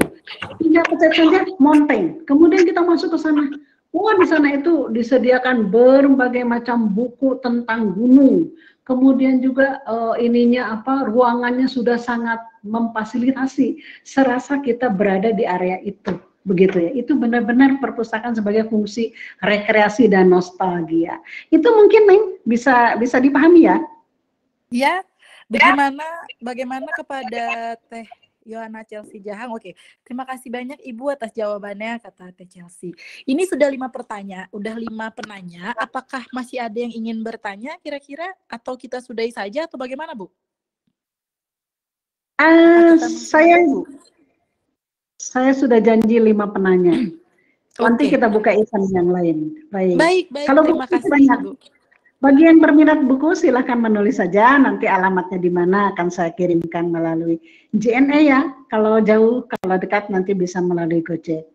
Oke, baik. Mungkin bagi lima penanya tadi, um, saya sebutin ya, Ibu Rosmawati, Ibu yeah. Kartini Nuraini, yeah. lalu Ibu Dini Hayati, Muhammad Naufal Muzaffar, dan Ibu Yohana Chelsea Jahang. Iya. Ada lima penanya, mungkin bisa dituliskan uh, alamatnya nanti agar uh, dapat dikirimkan buku ya Bu ya? Iya, betul. Baik Ibu, eh, karena mungkin sudah lima penanya, kita masuk ke di ujung acara. Terima kasih Ibu atas waktunya. Mungkin nanti di lain kesempatan kita bisa ketemu kembali. Mohon maaf Ibu, saya nggak bisa tampilin video karena handphone saya baterainya lemah. Jadi ah, iya, betul. Ibu. Ya, nggak apa-apa. Iya, terima kasih banyak Ibu. Baik, sama-sama.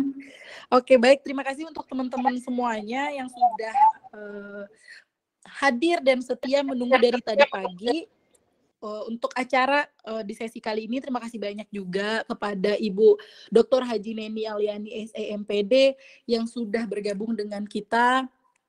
Terima kasih banyak sekali lagi Ibu saya ucapkan dan mohon maaf juga mungkin uh, dari tadi awal ada kendala sedikit ya Bu ya. Iya.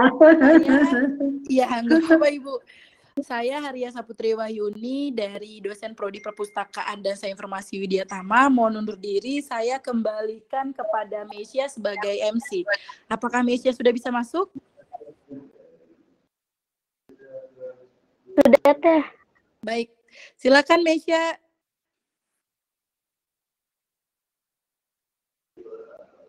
Saya diperhatikannya kepada narasumber kepada moderator serta para peserta yang telah menyimak acara dari awal sampai akhir. Semoga ilmu yang didapat dan bisa diaplikasikan dalam kehidupan sehari-hari. Akhir kata, saya Meisya Nurodiah Putih dari Prodi Perpustakaan Sains Informasi Universitas Widyatama kita patuhi protokol kesehatan. Wabillahi taufiq wal hidayah. Wassalamualaikum warahmatullahi wabarakatuh. Waalaikumsalam. Bye.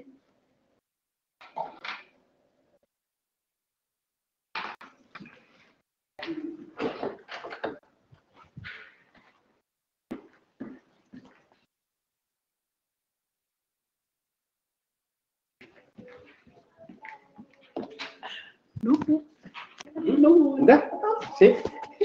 Ini tinggal bisa di download download yang Republika di download Ma masukin ini sampai